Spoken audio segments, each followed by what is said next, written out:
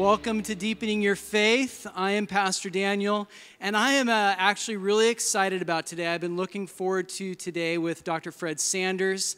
And so, uh, before I do introductions, would you please join me in a word of prayer? Let's pray.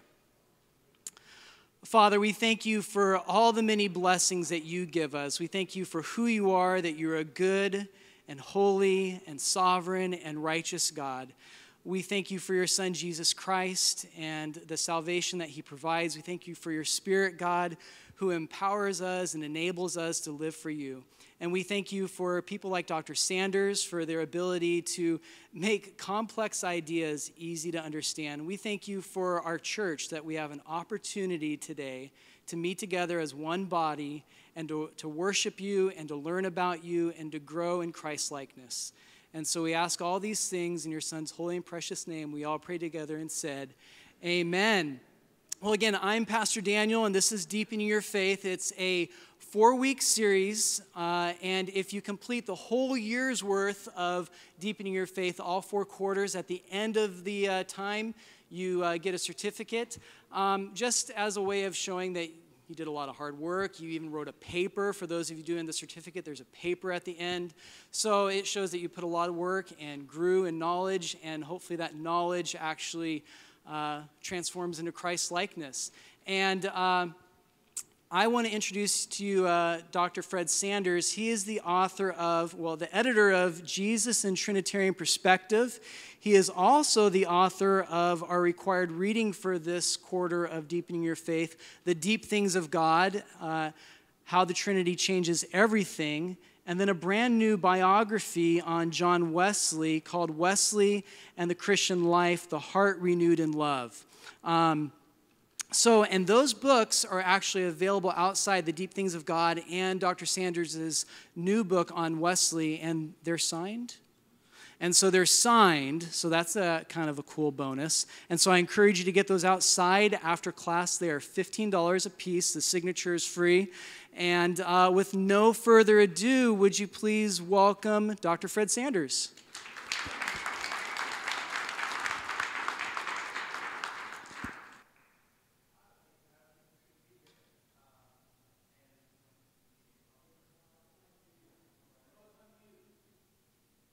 It was on mute. Thank you. It's good to be here. Thanks for having me. This is my favorite topic to talk about, which um, sometimes strikes audiences kind of strange because it's one thing to love Jesus or to love God or to be passionate about certain things from Scripture, but to say that you love the Trinity can still kind of sound odd. So um, I'm here to talk to you about heresies concerning the Trinity, in keeping with the uh, theme of this series, Deepening Your Faith. Um, but I'm going to start pretty far back because I want to uh, kind of I want to try to warm your hearts towards the doctrine of the Trinity.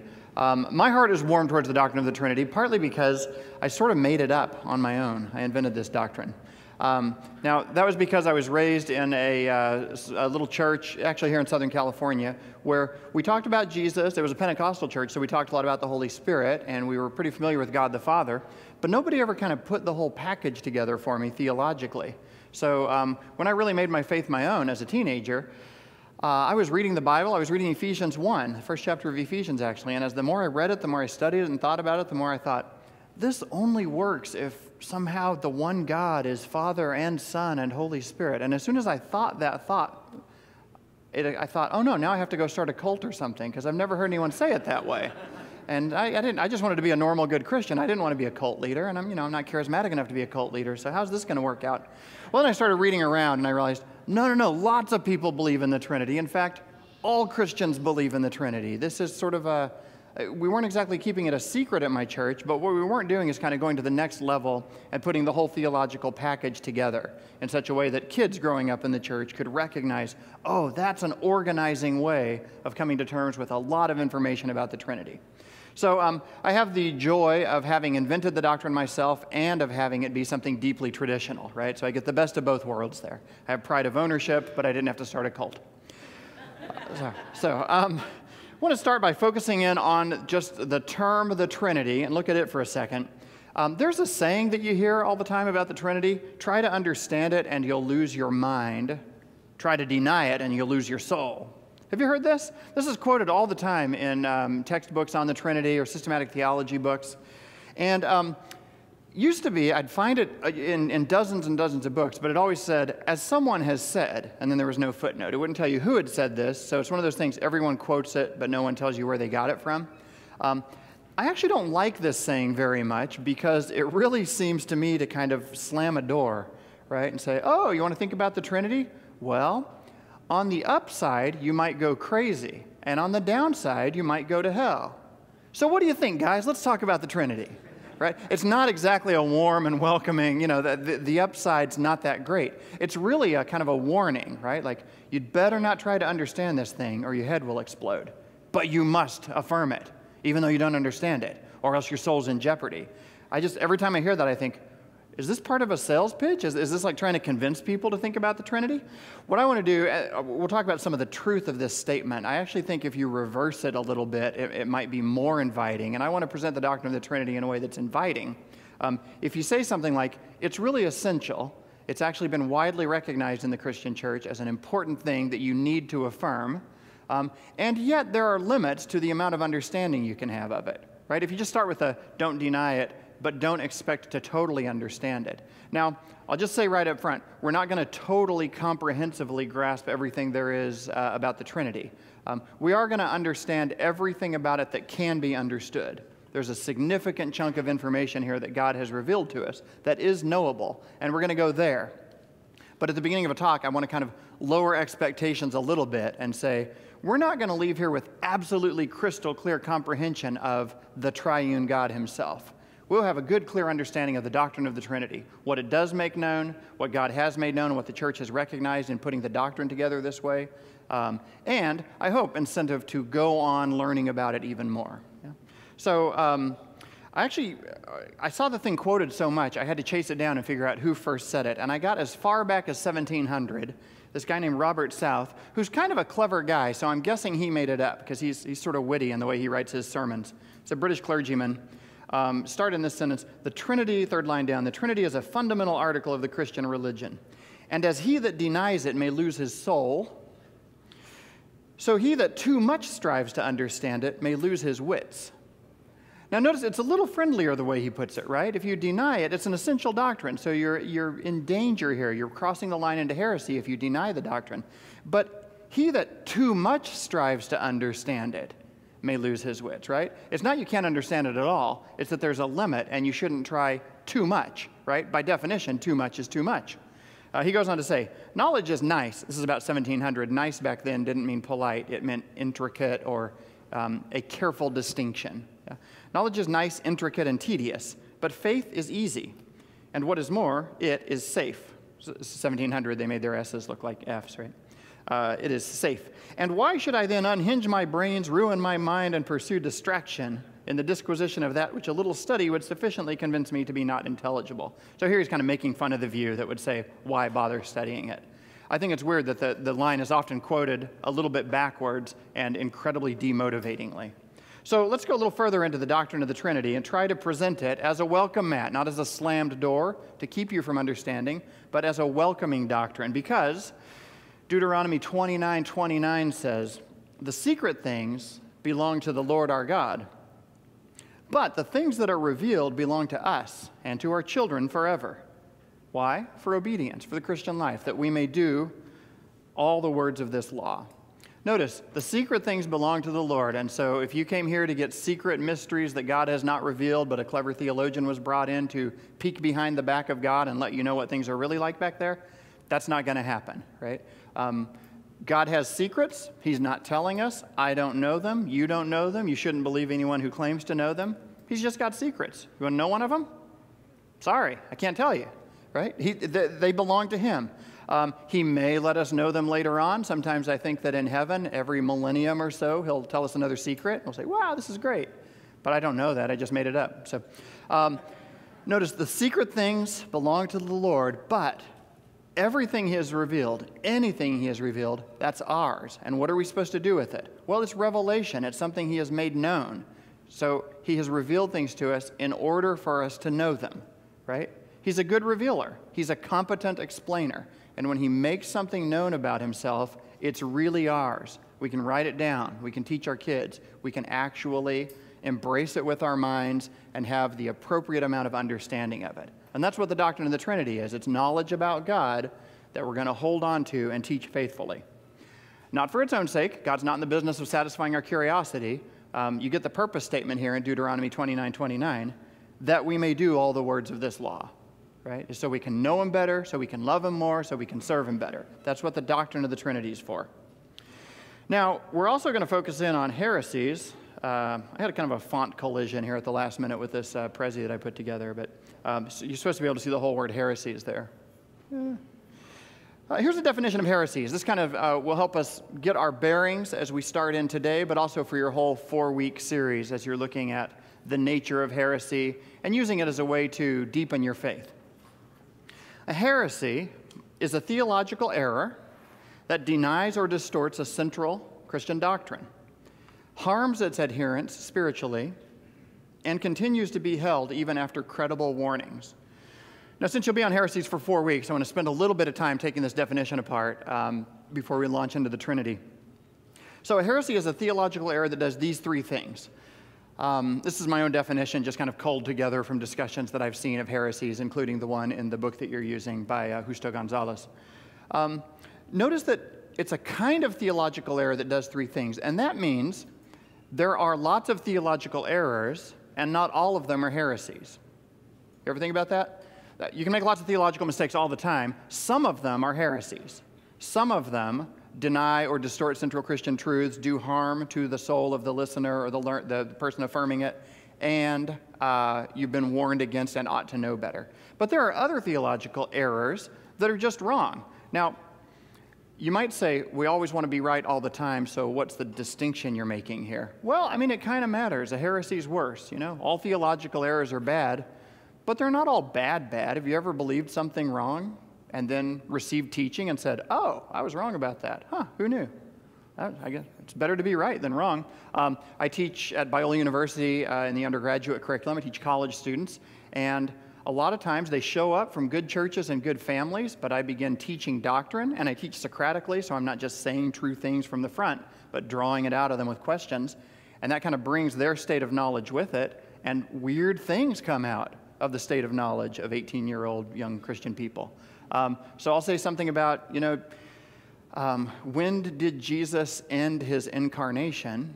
It's a trick question because he didn't. But students will say, I think at the ascension, yeah, he probably, uh, yeah, he, like he came down and became human, but then the ascension he probably stopped. I'll say, that's interesting. Where'd he put his human nature? Yeah, I don't know. He rose up into heaven, so he must have left it like on the dark side of the moon or something. Hmm. Is he going to pick it up again when he returns? Yeah, probably. Haven't thought about it much. And so what I always say is like, that, close the door right now. That's a terrible theological error. Like that is the incarnation is permanent. The Son of God wasn't always human. He always existed in the form of God, but he really took to himself human nature permanently. It's an ongoing incarnation. He is permanently bound to us, and we are permanently, securely joined to him. And a lot of times students have this weird moment where they say, that can't be true because I've never thought it before. Right? And I say, no, it actually is true. Like, ask lots of Christians you know, and most of them already believe this. Some of them don't. You can trip them up. Um, but notice, I exposed an error. I did say shut the door so nobody got really nervous because we say crazy things, you know, when we talk to each other about doctrine. Um, but one of my colleagues that teaches at Biola always tells students, no, it's okay. You're going to make some mistakes as you try, as your faith seeks understanding. You're going to make some errors.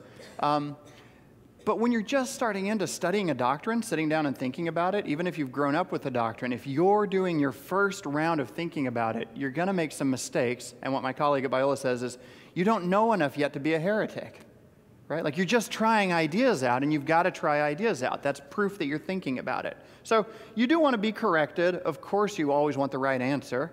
Um, but, you know, things being what they are, you're not always going to get the right answer. So uh, this is just a way of saying, we're going to talk about heresies. They're really bad. Avoid them at all costs. Theological errors, you should also avoid and seek to correct and get good teaching, but you don't have to be phobic about every theological error. Does that make sense? So, certain kind of theological error is a heresy. What kind? Well, a kind that denies or distorts a central doctrine.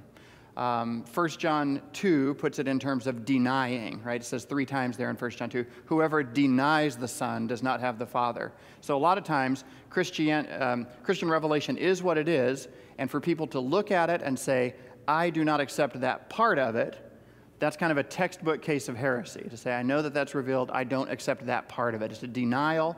Um, the word heresy, the root of it comes from a Greek word having to do with picking and choosing or selecting. So, a lot of times, heresy involves denying or suppressing or refusing to accept something that's been revealed. But also distorting it badly enough that you don't recognize it anymore. We'll talk about this a lot when I'm back in two weeks to do Christology. Um, there, it's really clear that there are people who don't deny Jesus Christ, but their teaching about Jesus Christ is so messed up that they functionally are not identifying Jesus anymore rightly. You know what I mean? I was talking to a guy one time. Um, who said, Oh, you're into Jesus? I'm into Jesus too. I said, Really? Tell me about that. And he said, Yeah, Jesus is a space alien, and he was here once. Then we treated him bad, so he flew away. And I'm thinking, I, I think you're thinking E.T., right? um, um, but he had this, he'd thought about this a lot, and he said, No, no. Jesus left here and he's on this great tour of the universe. He's visiting all the planets, and when he comes back, that's the second coming. And I thought, okay, we got a problem here you're saying Jesus, but you don't mean Jesus, right? So just because you're using the word or the name doesn't mean you're rightly identifying him. That's a wild story you've got, and it picks out a different character. So a denial or a distortion of a central Christian doctrine.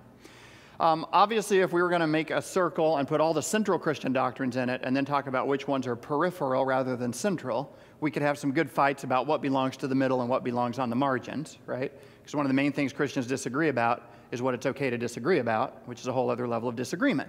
Right? But um, if you just blur your eyes at it a little bit, it's pretty easy to see which things go right in the middle.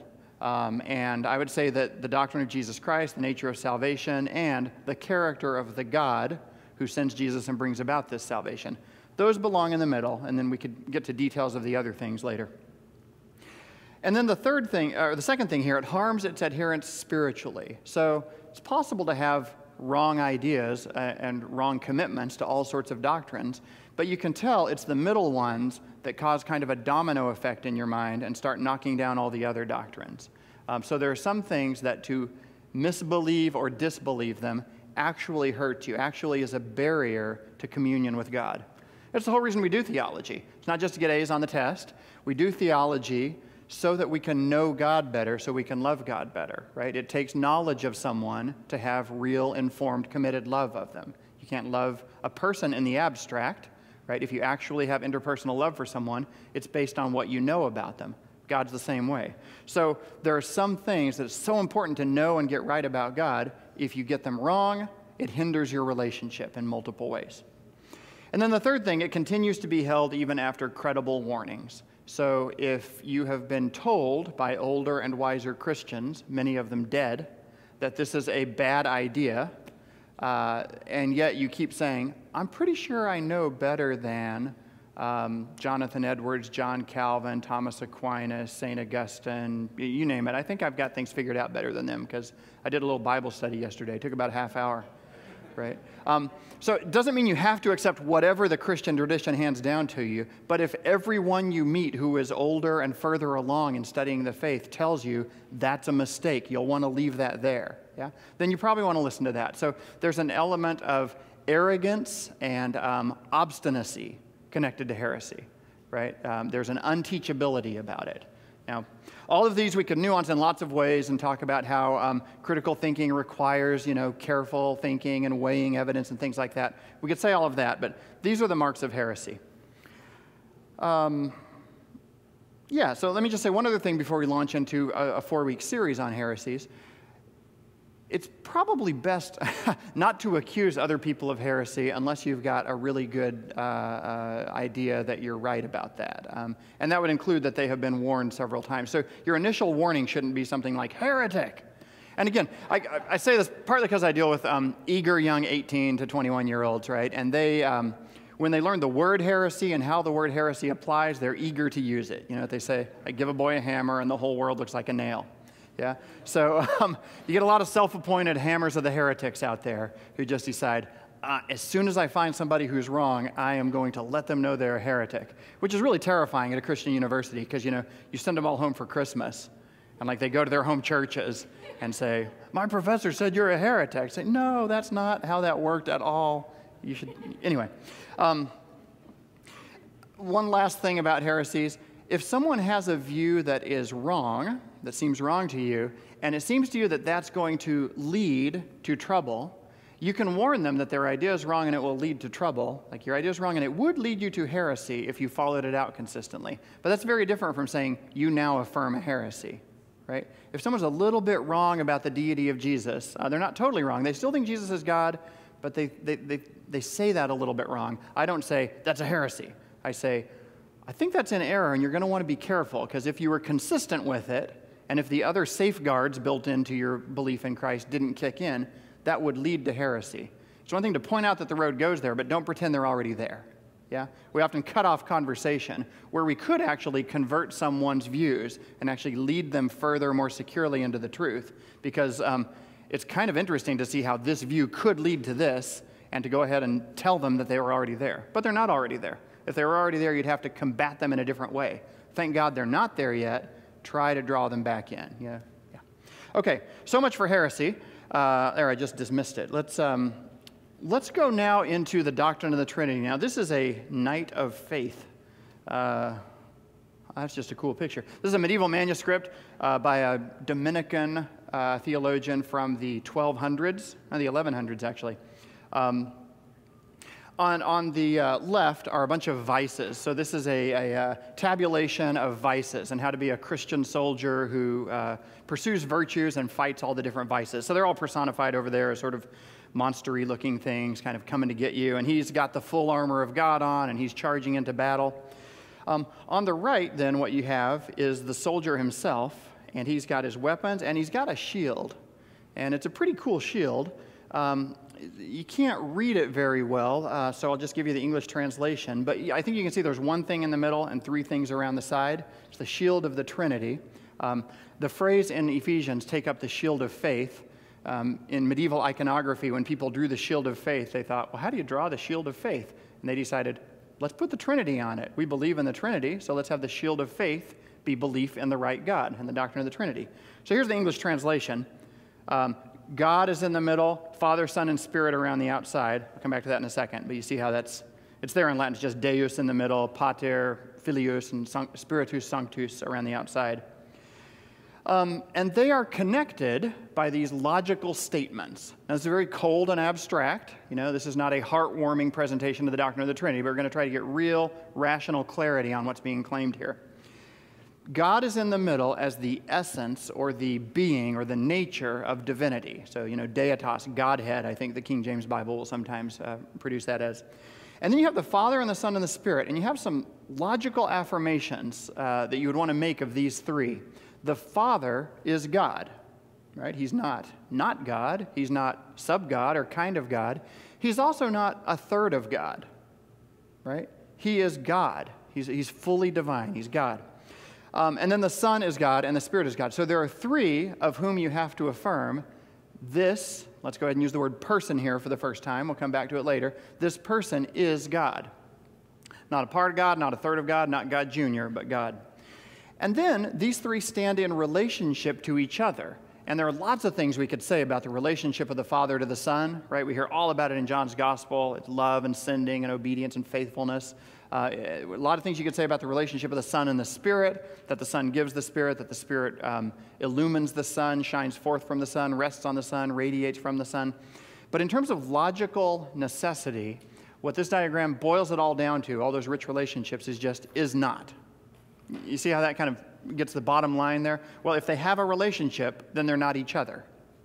Right? If the father has some relationship with the son, love, whatever it is, then the father isn't the son. They're related to each other. Uh, they're in relationship. Um, so, let's see. Say anything else about that? No, it's a cool little diagram. I don't know who first invented it. Um, believe it or not, the Wikipedia entry on the shield of the Trinity is really good. I don't know who wrote it, but I should send them something. Um, you, you, don't always expect to go get good theology from Wikipedia.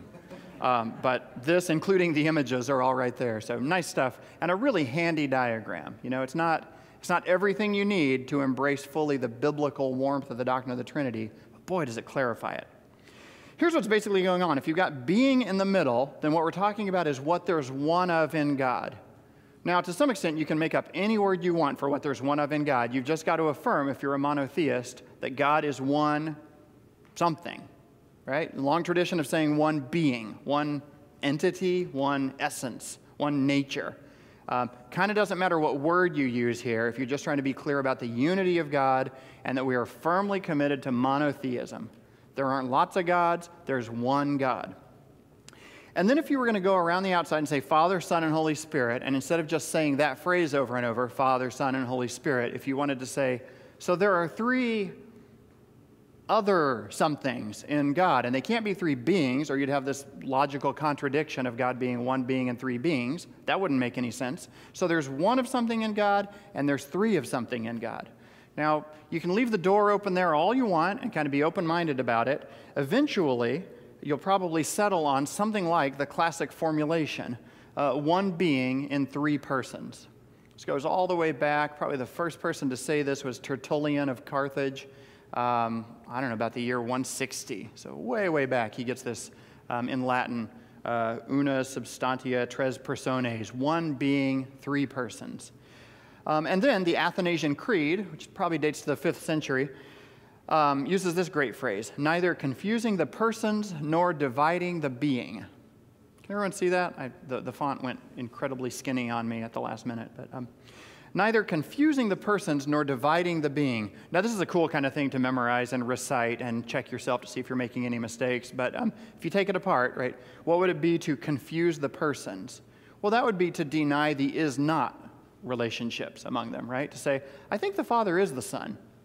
Well, you're really confusing the persons, aren't you? Um, I, there's a um, anti-Trinitarian uh, movement, uh, Oneness Pentecostalism, we'll talk about it a little bit later. They're firmly committed to the idea that Jesus is God the Father.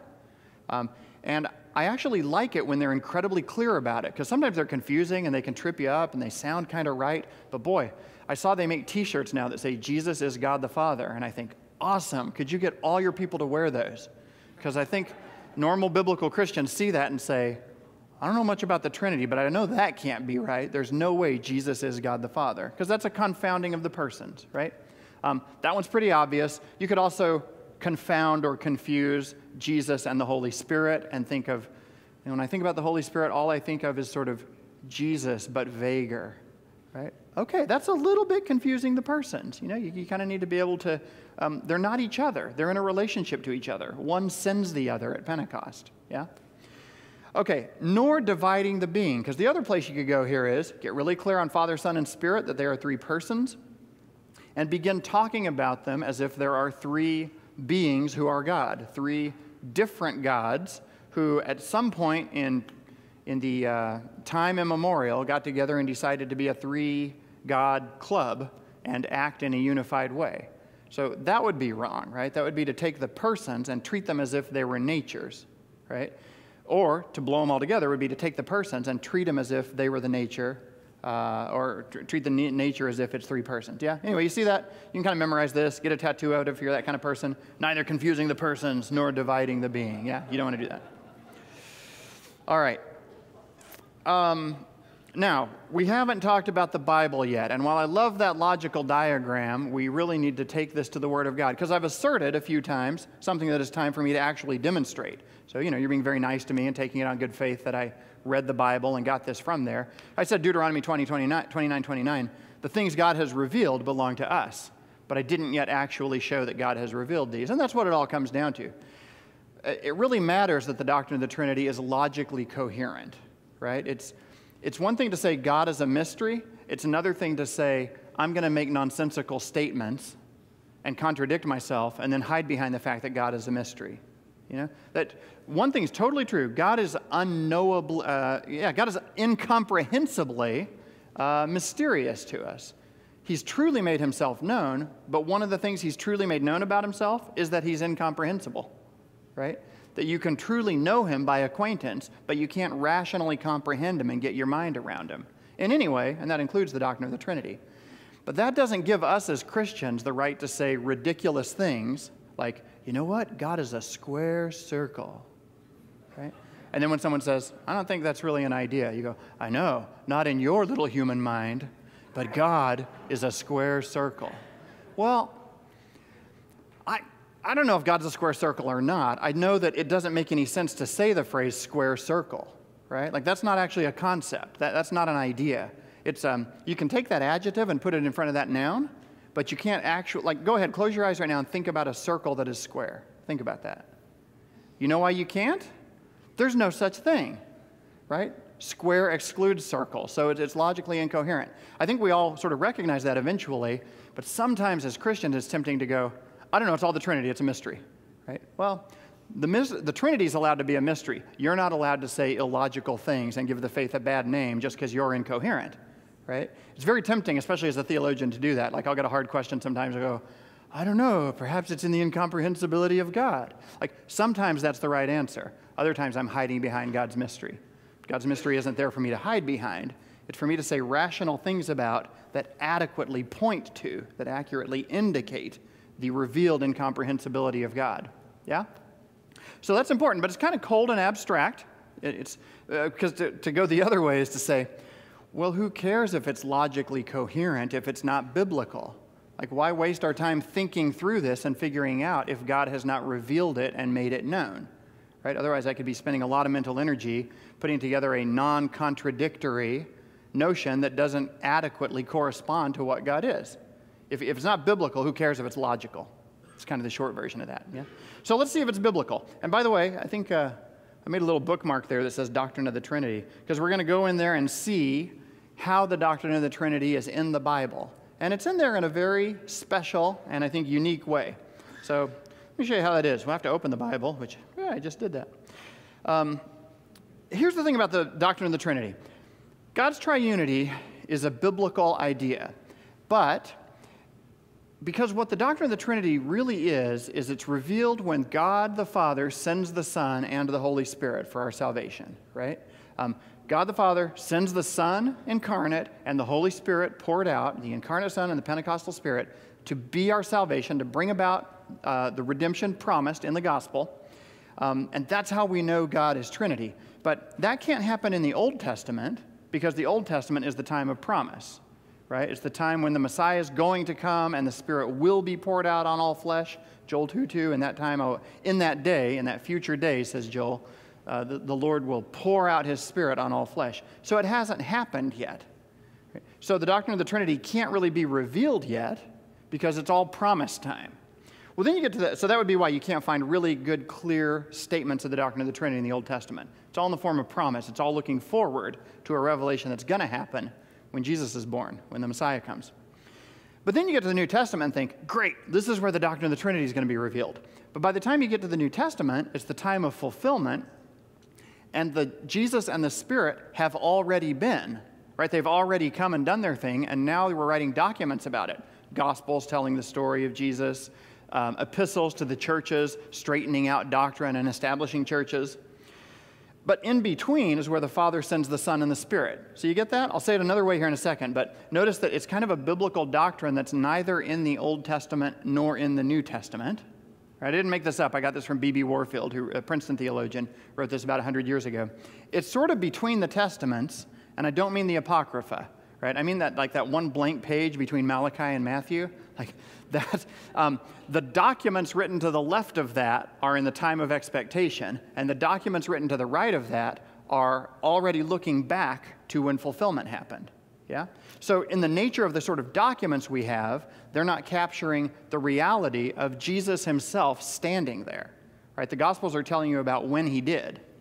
Um, another way to put this is this the documents on the left side of that blank page say the Messiah and the Spirit are coming. The documents to the right say, hey, the Messiah and Spirit already came. Now, this is not just a tricky way to say, because it sounded kind of tricky, right? It's a biblical doctrine, it's just not in the Bible, right? That sounds like sophistry. Um, what I'm saying is the nature of the revelation of the Trinity, it's not about God writing down information and handing it to us. It's about the Son and the Spirit actually showing up in person in history. Like God made this known by doing something and explaining it. So the doing something is what's not recorded here. The explanation of it is. So expectation and fulfillment with the Son and the Spirit personally showing up in actual history of God's work right in the middle. Um, that explains so much about how the Trinitarian um, doctrine is contained in Scripture, because it is contained, um, but it's contained as, by looking forward and looking back. And um, I could do a longer version of this, but I, I want to get to a couple of key Bible verses here. And I've thought about studying a Trinity study Bi- of um, publishing a Trinity study Bible. You know what I mean? Like one that's got little uh, red circle, red uh, triangles in it everywhere, connecting the three persons of the Trinity. Because I have a blast when I'm doing a Bible study and find Father, Son, and Spirit mentioned somewhere. I think, oh, that's great. I gotta, I gotta do that in. And people look at my Bible and say, "How'd you get all those red triangles in there?" And I think, maybe I can make some money selling a Trinity study Bible with little red triangles all over it. But I actually want people to do that for themselves and be able to see the work of God as Father, Son, and Spirit all through Scripture. The reason it's great to do it for yourself is um, since the doctrine of the Trinity is nowhere in Scripture announced and broadcast, as it, no one ever comes out and blows a horn and says, doo, doo, doo, Now behold ye the doctrine of the Trinity. It never happens. Everything you read is either coming up to the revelation of the Trinity or looking back on it. And the ones who are looking back on it are saying all kinds of things that only make sense if the Trinity is true, right? Um, so, Paul, for instance, in all 13 of Paul's letters, he never sits down and writes a chapter explaining the doctrine of God to you, right? He never sits down and says, Now, Romans, in chapter 19, I will explain to you how we monotheistic Jews also worship Jesus and how that works together logically. At no point does he establish that with a chapter on the doctrine of God. What's Paul do? Well, you know what Paul writes about. He's always writing to churches and putting out fires and establishing doctrine. Um, and so he's saying something like, here's what salvation is it's when the Father adopts you through sending the spirit of sonship into your hearts to apply the redemption worked out by the Messiah. Right? All he had to do was talk about salvation. But the way it comes out only makes sense if he gets to name Father, Son, and Spirit as he describes it. See how he kind of presupposes that everybody already knows about the Trinity? He does this over and over when he talks about discipleship, the foundation of the church. In Romans, Paul can't even say, pray for me, without making it come out Trinitarian, right? He says something about bending your knee before the Father, that in the name of Jesus he would be strengthened in his spirit. You say, really, Paul? All you had to say was, pray for me. But you went and made it Trinitarian. And you went and made it Trinitarian because of the momentous thing that happened in the revelation of the Trinity right there in the middle. All right. Um, so this is not just me hiding the doctrine of the Trinity and refusing to show it to you. It's me saying the stuff we will see in here, the, the way the Trinity is made known and made present in Scripture, is um, it's oblique, it's sideways, it's looking back. The main event has already happened, right? And now we're going to look at people presupposing it, but saying enough about it, uh, thank God, that there's a foundation for us to sort of build our ideas on. But the Trinity, Trinitarian reality is already there. So I want to look at three key texts for the Trinity. Um, these are three key places you'd want to go, and I picked these out of all the possible great passages that bring together teaching on this topic. I picked these because they are closest to getting you to that big diagram. Yeah, these are the ones that will kind of help you think biblically through the kind of decisions that you'll end up having to logically affirm something like that one being three persons diagram with the relations right. Yeah? And then ultimately, we'll do this after the break, we'll come back and be able to see how that helps us come to terms with heresies, right? So here are the three key texts. The first one I want to look at is John chapter 1, verses 1 through 3. I'll put the text up here on the, on the board, but you're free to turn there if you want. John 1, 1 through 3.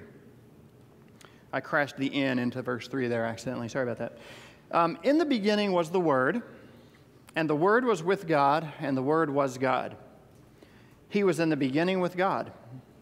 All things were made through him, and without him was not anything made that was made. Now we can keep going on, and I'll have to refer to some of the context in a minute, but just look what's going on here in the opening verses of John's Gospel.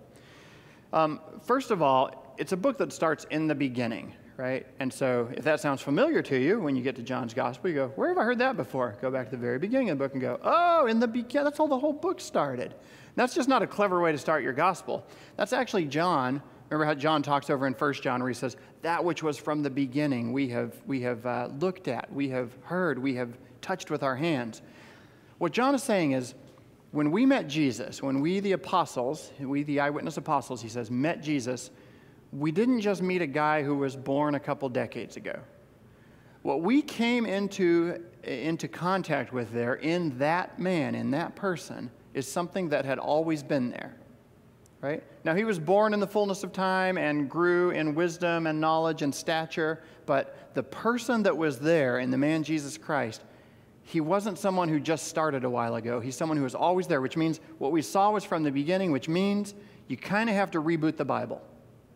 If you want to tell the story of Jesus right, you kind of have to go, well, it's not just that, like, um, if you read Matthew and Mark, you might think, so Jesus, the Jesus story starts with John the Baptist, right?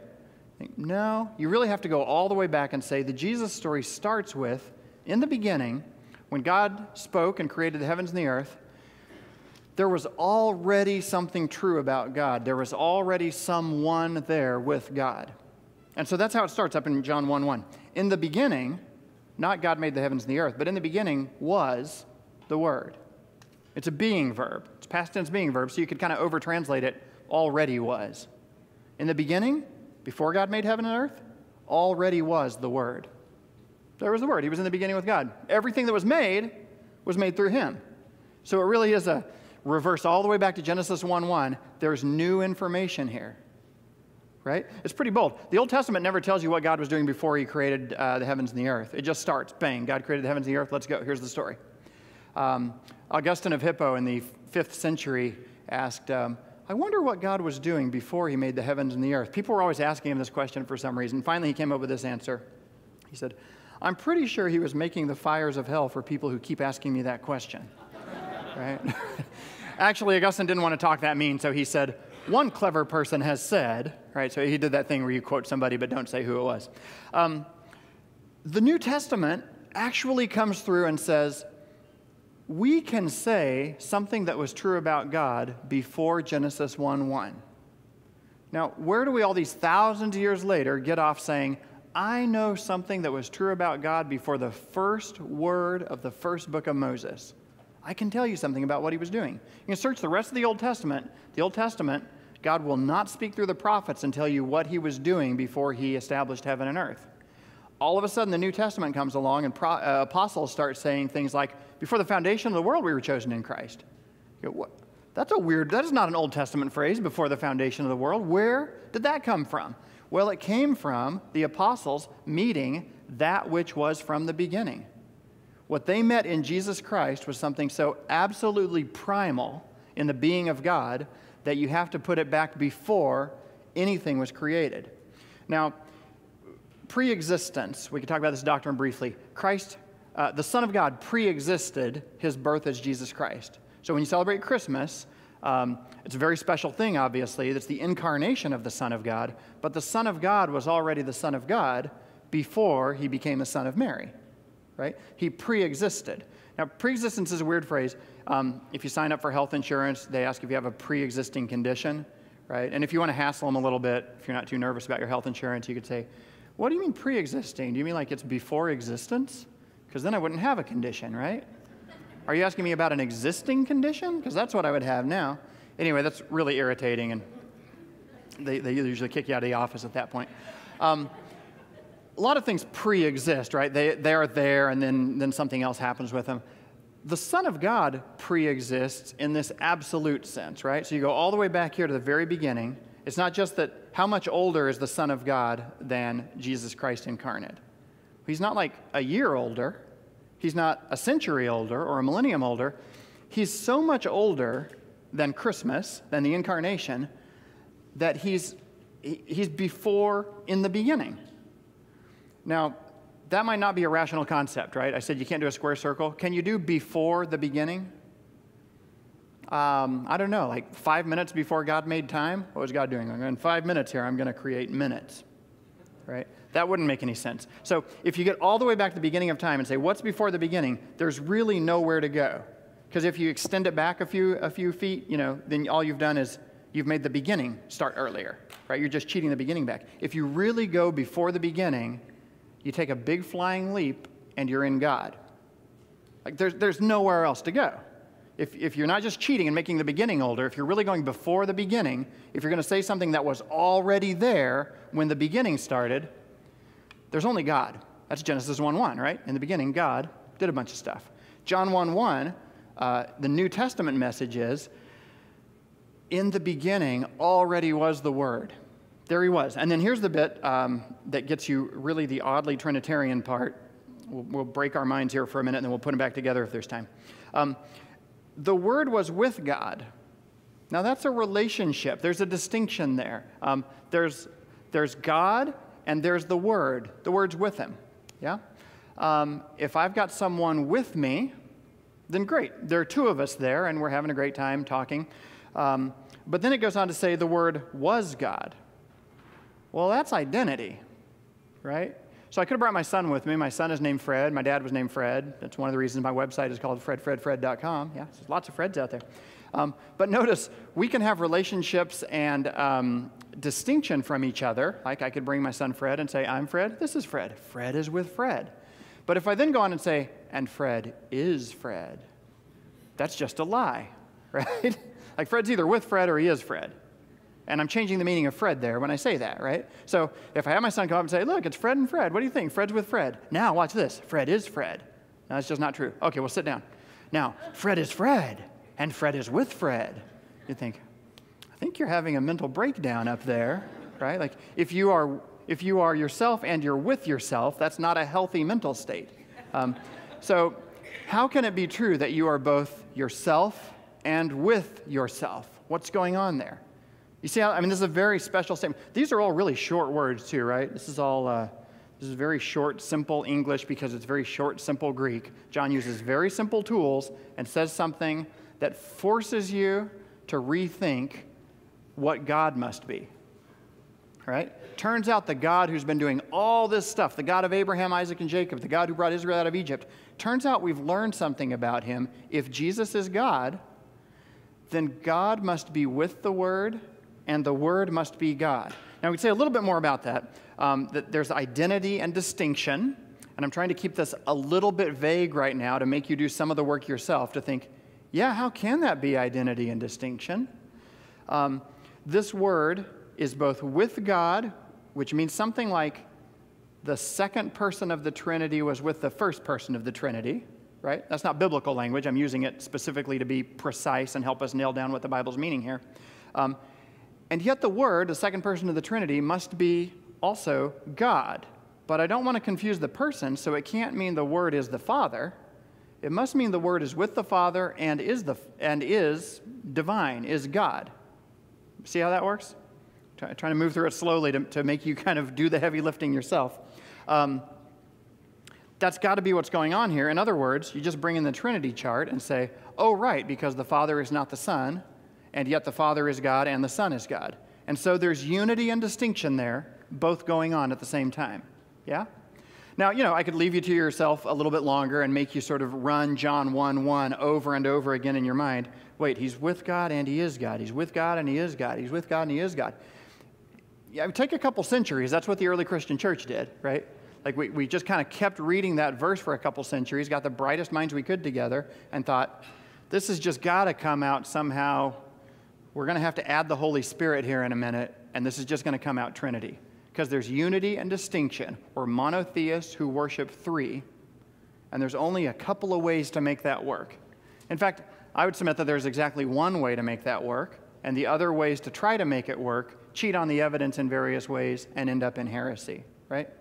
So we'll talk about some of the heresies a little bit later, but um, if you're a Jehovah's Witness, one thing you have to do is mess with your translation here, right? So the green, the New World Bible they'll bring doesn't read this way. It reads in a way that um, Greek scholarship does not support. But they've, they've got to uh, work with this to make it say the word was a God. Well, you know, okay, good luck. Um, that's not what it says. Um, but I see how you're trying to dodge relation and identity there at the same time. He was in the beginning with God, all things were made through him. So, this gets you the unity and distinction that the doctrine of the Trinity comes to your help and says, if you're tired of pondering this without having words for it, let me give you some words for it. One being, multiple persons. That's what's happening here. Okay, second verse that I want to point to for the doctrine of the Trinity is uh, Matthew 28 18 through 20. Again, you can turn there if you want, because uh, it's crucial that you see this for yourself in the text, um, but I'll, I'll, project the whole thing as well. So, you guys know the Great Commission, Matthew 28 18, 18 through 20. Um, all authority, this is Jesus after the resurrection, last thing he says in Matthew, all authority in heaven and on earth has been given to me. Go therefore and make disciples of all nations, baptizing them in the name of the Father and of the Son and of the Holy Spirit, teaching them to observe all that I have commanded you. Um, several interesting things going on here. Um, I just want to focus on one of them. That is that three are named here the Father and the Son and the Holy Spirit. I tried to identify those with little uh, numbers for you one, two, and three. The Father and the Son and the Holy Spirit. But notice also that Jesus says to baptize them in the name, one name, of these three. Baptize them in the name, you could say the name of God. Okay, that would make sense. But instead, he says, baptize them in the name, singular name, of the Father and the Son and the Holy Spirit. Now, this is crucial because what you just did with John 1 was all the heavy lifting of the hard logical work of understanding one God that has at least two persons, right, in which there is unity and distinction, right? And, and that's difficult. That, that's the main logical work you have to do. That's where you burned all your mental calories. Now, what's going on here? There's one name, and then our Lord Jesus, after his resurrection, says, the one name of the Father and the Son and the Spirit. Now, I counted to three there, um, but you could say three is not there in the Bible. Right? The word three is not there. It just says Father and Son and Spirit. And I would insist, yeah, but I'm pretty sure I'm allowed to count to three when I'm interpreting Scripture, right? Because there aren't four there, there aren't two there. There's the name of the Father and the Son and the Spirit, yeah? Well, this matters a lot because uh, as you look at it, what you've got is a need to come up with some kind of uh, uh, word to point to what there's one of there. You can say there's one name, but you're going to have to kind of work with that and say, what is there one of in God? I guess God has one name, this divine name, this divine being, the status of divinity goes to the one God. And yet, now I'm going to have to have a word for these three who's, these three that are identified here. So, again, I'm trying to leave that vague so you can feel the pressure of needing to think, how am I going to explain this? Of course, I've got the doctrine of the Trinity in my back pocket, and I'm thinking, oh, just here's the doctrine of the Trinity. Aren't you glad to have this handy conceptual tool? This will help you make sense of it. Um, one name, three, I'm going to say persons here, but here's the thing Trinitarian theology has always been a little bit shy of the word person. It's the right answer, right? If I say, if I give you a test and say one what, three who's, you should say one being, three persons. But again, Augustine of Hippo said, you know why I say persons? It's because when somebody asks me what there are three of in God, I don't want to say nothing. So I say person.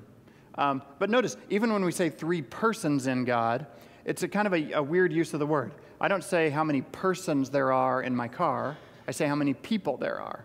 So why don't I say there are three people in God? Because that sounds weird, doesn't it?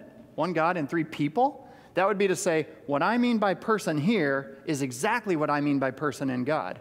And so by talking a little funny with it, there are a bunch of people here, unless you're the fire marshal. The fire marshal apparently talks about the number of persons that can be in a room, yeah? Um, but I can't vouch for the fire marshal's Trinitarian theology. Normally we say there are a bunch of people here, but there are three persons in God, because to be a divine person is different from what it is to be a human person. Now, we're still going to use the word in a way that makes sense in some way, but it's not going to be the exact same way um, for down here as it is for up there. But notice you've got one what and three who's, which without any technical language is kind of an adequate way to talk about the Trinity, right? If you were to go to God and ask, What are you? God might respond to you, One God. That is what I am. But if you were to go to God and ask, Who are you? You wouldn't get a one answer because who God is, is Father, Son, and Spirit, right? So there's one what if you're asking God about that, and there are three who's if you're asking God about, about that. You see, you see how that, that's clear? If you ask the different kinds of questions, you get different answers. Because God is one um, substantial or essential reality, but three personal realities or entities. The main reason to use the traditional terms, one being in three persons, is so you don't sound um, like you're doing baby talk or something, right? That God is one what in three who's. You can only say that so many times before it starts to sound sort of juvenile, right? So um, um, without going all the way upscale with your language, you can embrace the traditional language of one being, three persons. Um, but notice you're not really adding anything to it. You're actually still just looking at the Bible going, what is there one of in God in Matthew 28, and what are there three of in God? Why is there the one name of the Father and the Son and the Holy Spirit? Why these three? Now, that's more, more of the uh, conceptual work that goes in, but look at this. When I read Matthew 28, uh, and I say that there are three persons, um, I'm saying that there's threeness there, and yet I'm a monotheist. So, as someone who believes in one God, now I have to talk about the threeness that I'm seeing here, right? So, what do I want to say about the threeness of God if I believe in one God? If I were a tritheist, here's what I could say about the threeness of God God is three. Like, there are three that are God. There are three gods, and you should worship all three of them because you should worship whatever person is God, and there are three. Um, but I'm not a tritheist. I'm a Trinitarian monotheist. So I'm going to talk about the one God, and I'm going to tell you something about the threeness that there is in the one God. So notice that's kind of it's kind of non threatening, I hope, to say, of the one God, what do we say about the threeness that's revealed about him? Notice the word threeness. Um, one time I tried to find the first use of the word Trinity in English. Like, I know the first use of it in Greek and in Latin, I could do all that, but I wanted to know, like, in English, which is a relatively young language, what's the first occurrence of the word Trinity? So I got some Anglo Saxon theological texts, and I got this word. That first thing with the D with the line through it, that's called a thorn. It's the, a th. Um, so this is Thrynnys. I can't pronounce Anglo-Saxon, but something like Thrynnys. T H R Y N N Y S S E, Thrynnys. The cool thing about Anglo-Saxon is it's so blunt. You know, that clearly just means threeness, right? I don't even speak Anglo Saxon. I can tell that says threeness. Um, notice, though, if you say it in Latin, it comes out Trinitas. Now, that sounds uptown, right? Trinitas. That, that sounds like Roman Catholic or, or medieval or, or algebraic or something, you know? Trinity. Notice what's going on here and why I'm kind of belaboring this point.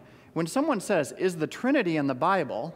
I always say, I'm always honest and I say, No, of course not. Get a concordance, turn to the T section, look for the word Trinity. It's not in the Bible. That word is not there. But that's not the whole answer, right? There is threeness in the Bible. And what if someone asked you not, Is the word Trinity in the Bible, but they asked you, Is the word threeness in the Bible? You'd have to say something like, um, who cares if the word threeness is in the Bible? Why is this about words all of a sudden? Threeness is clearly in the Bible. Look at Matthew 28 20. Man, there's a threeness there. Now, we can have all kinds of disagreements about what we think about that threeness, but you can't deny there's a threeness there. And there's something like that going on when someone asks, Is the, is the word Trinity in the Bible?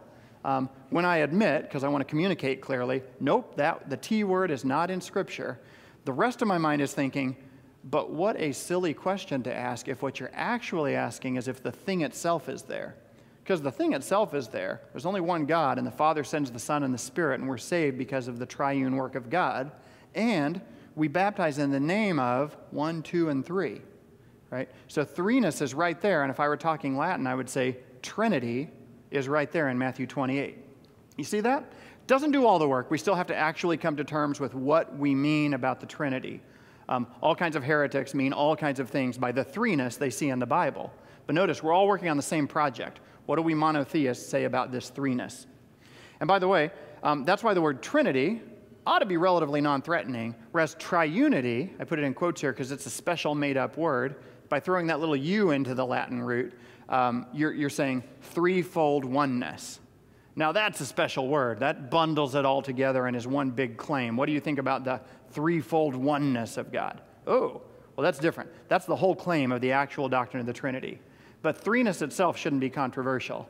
Um, it's just a matter of going on to say the right thing about one God. And what's the right thing? One being in three persons. All right, that is our first two of three. Uh, it's just coincidentally, you know, that there are three main Bible texts that I want to take you here. Like all all sermons don't have to have three points, and all, all three points don't necessarily point to the Trinity. Um, but I want to we're going to take a short break here, and then I want to come back for the third one because it takes us in a slightly different direction. Uh, and then we'll be able to move on to the actual treatment of Trinitarian heresies. Yeah? So, um, let's come back at 3.05. Uh, take a short break for the restrooms, which are right out there to the right. It's probably your home church. I'm the guest. I think they're over there. All right, thanks a lot. See you back here at 3.05.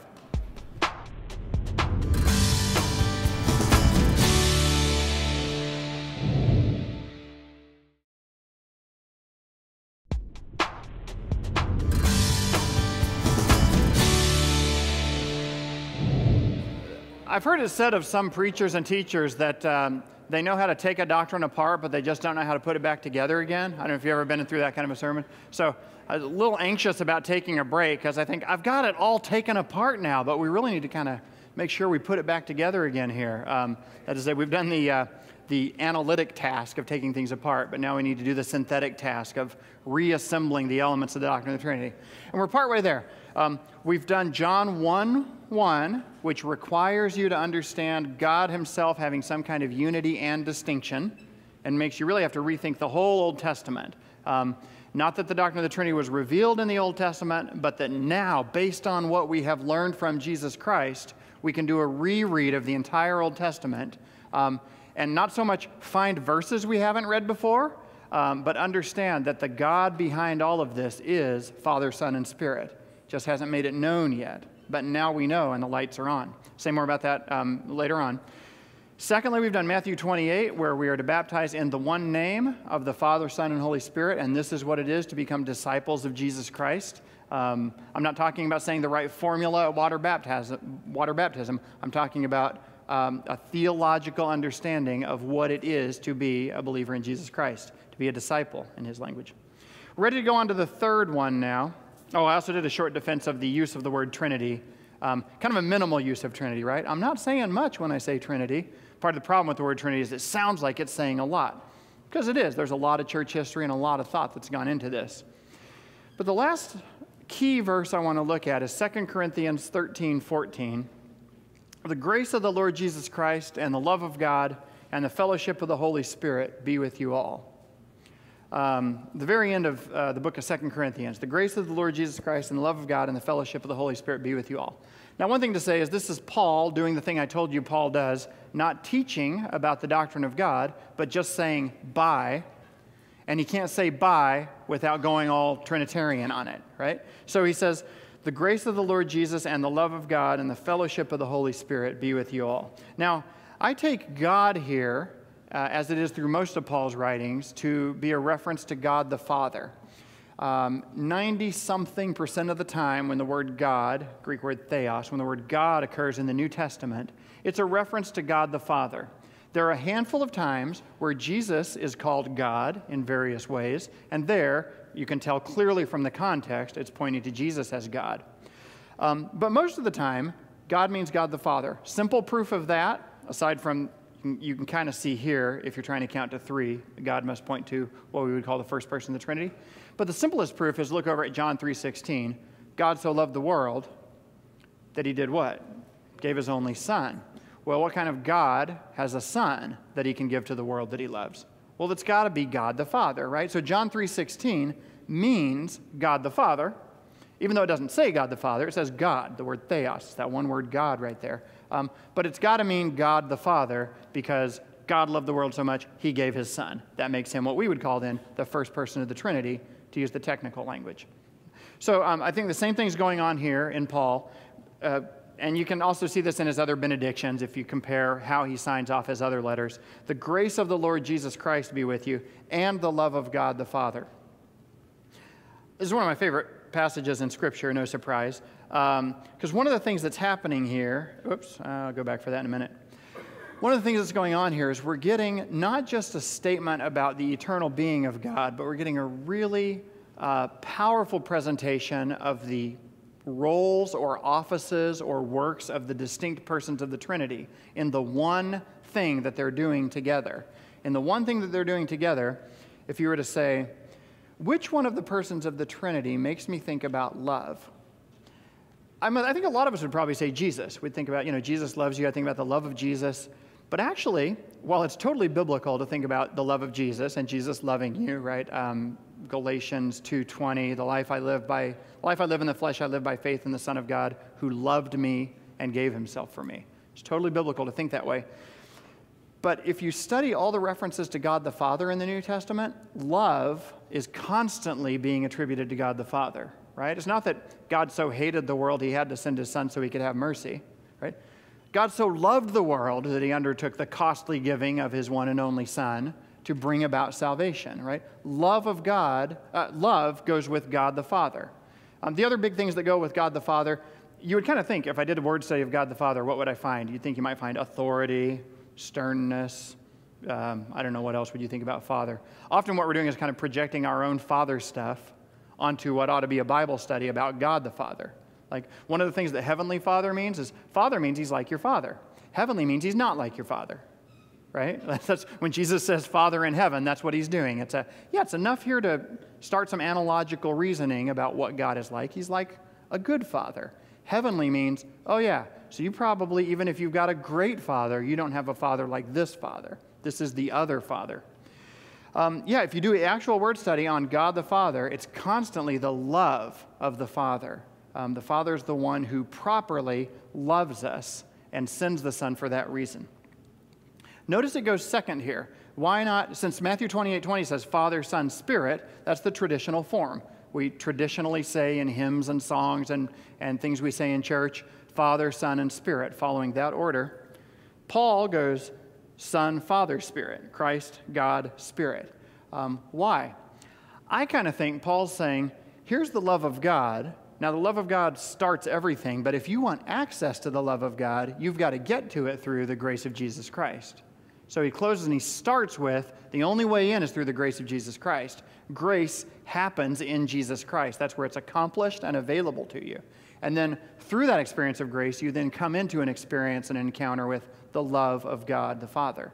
And when you do that, then you have fellowship with the Holy Spirit. And for some reason here, fellowship, communion, koinonia is the Greek, um, is a spirit word. And always makes me think of what John says over in 1 John our fellowship is with the Father and the Son. If I were desperate to find Trinity verses, I'd claim that line in 1 John as a Trinity verse and I'd cram the Holy Spirit into the word fellowship, right? Because when John says our fellowship is with the Father and the Son, uh, as a Trinitarian, I'm always thinking, and with the Spirit, right? But the Bible's not nervous about having to cram the Spirit into everything. The Spirit is pervasive and everywhere and often presupposed and not necessarily stated.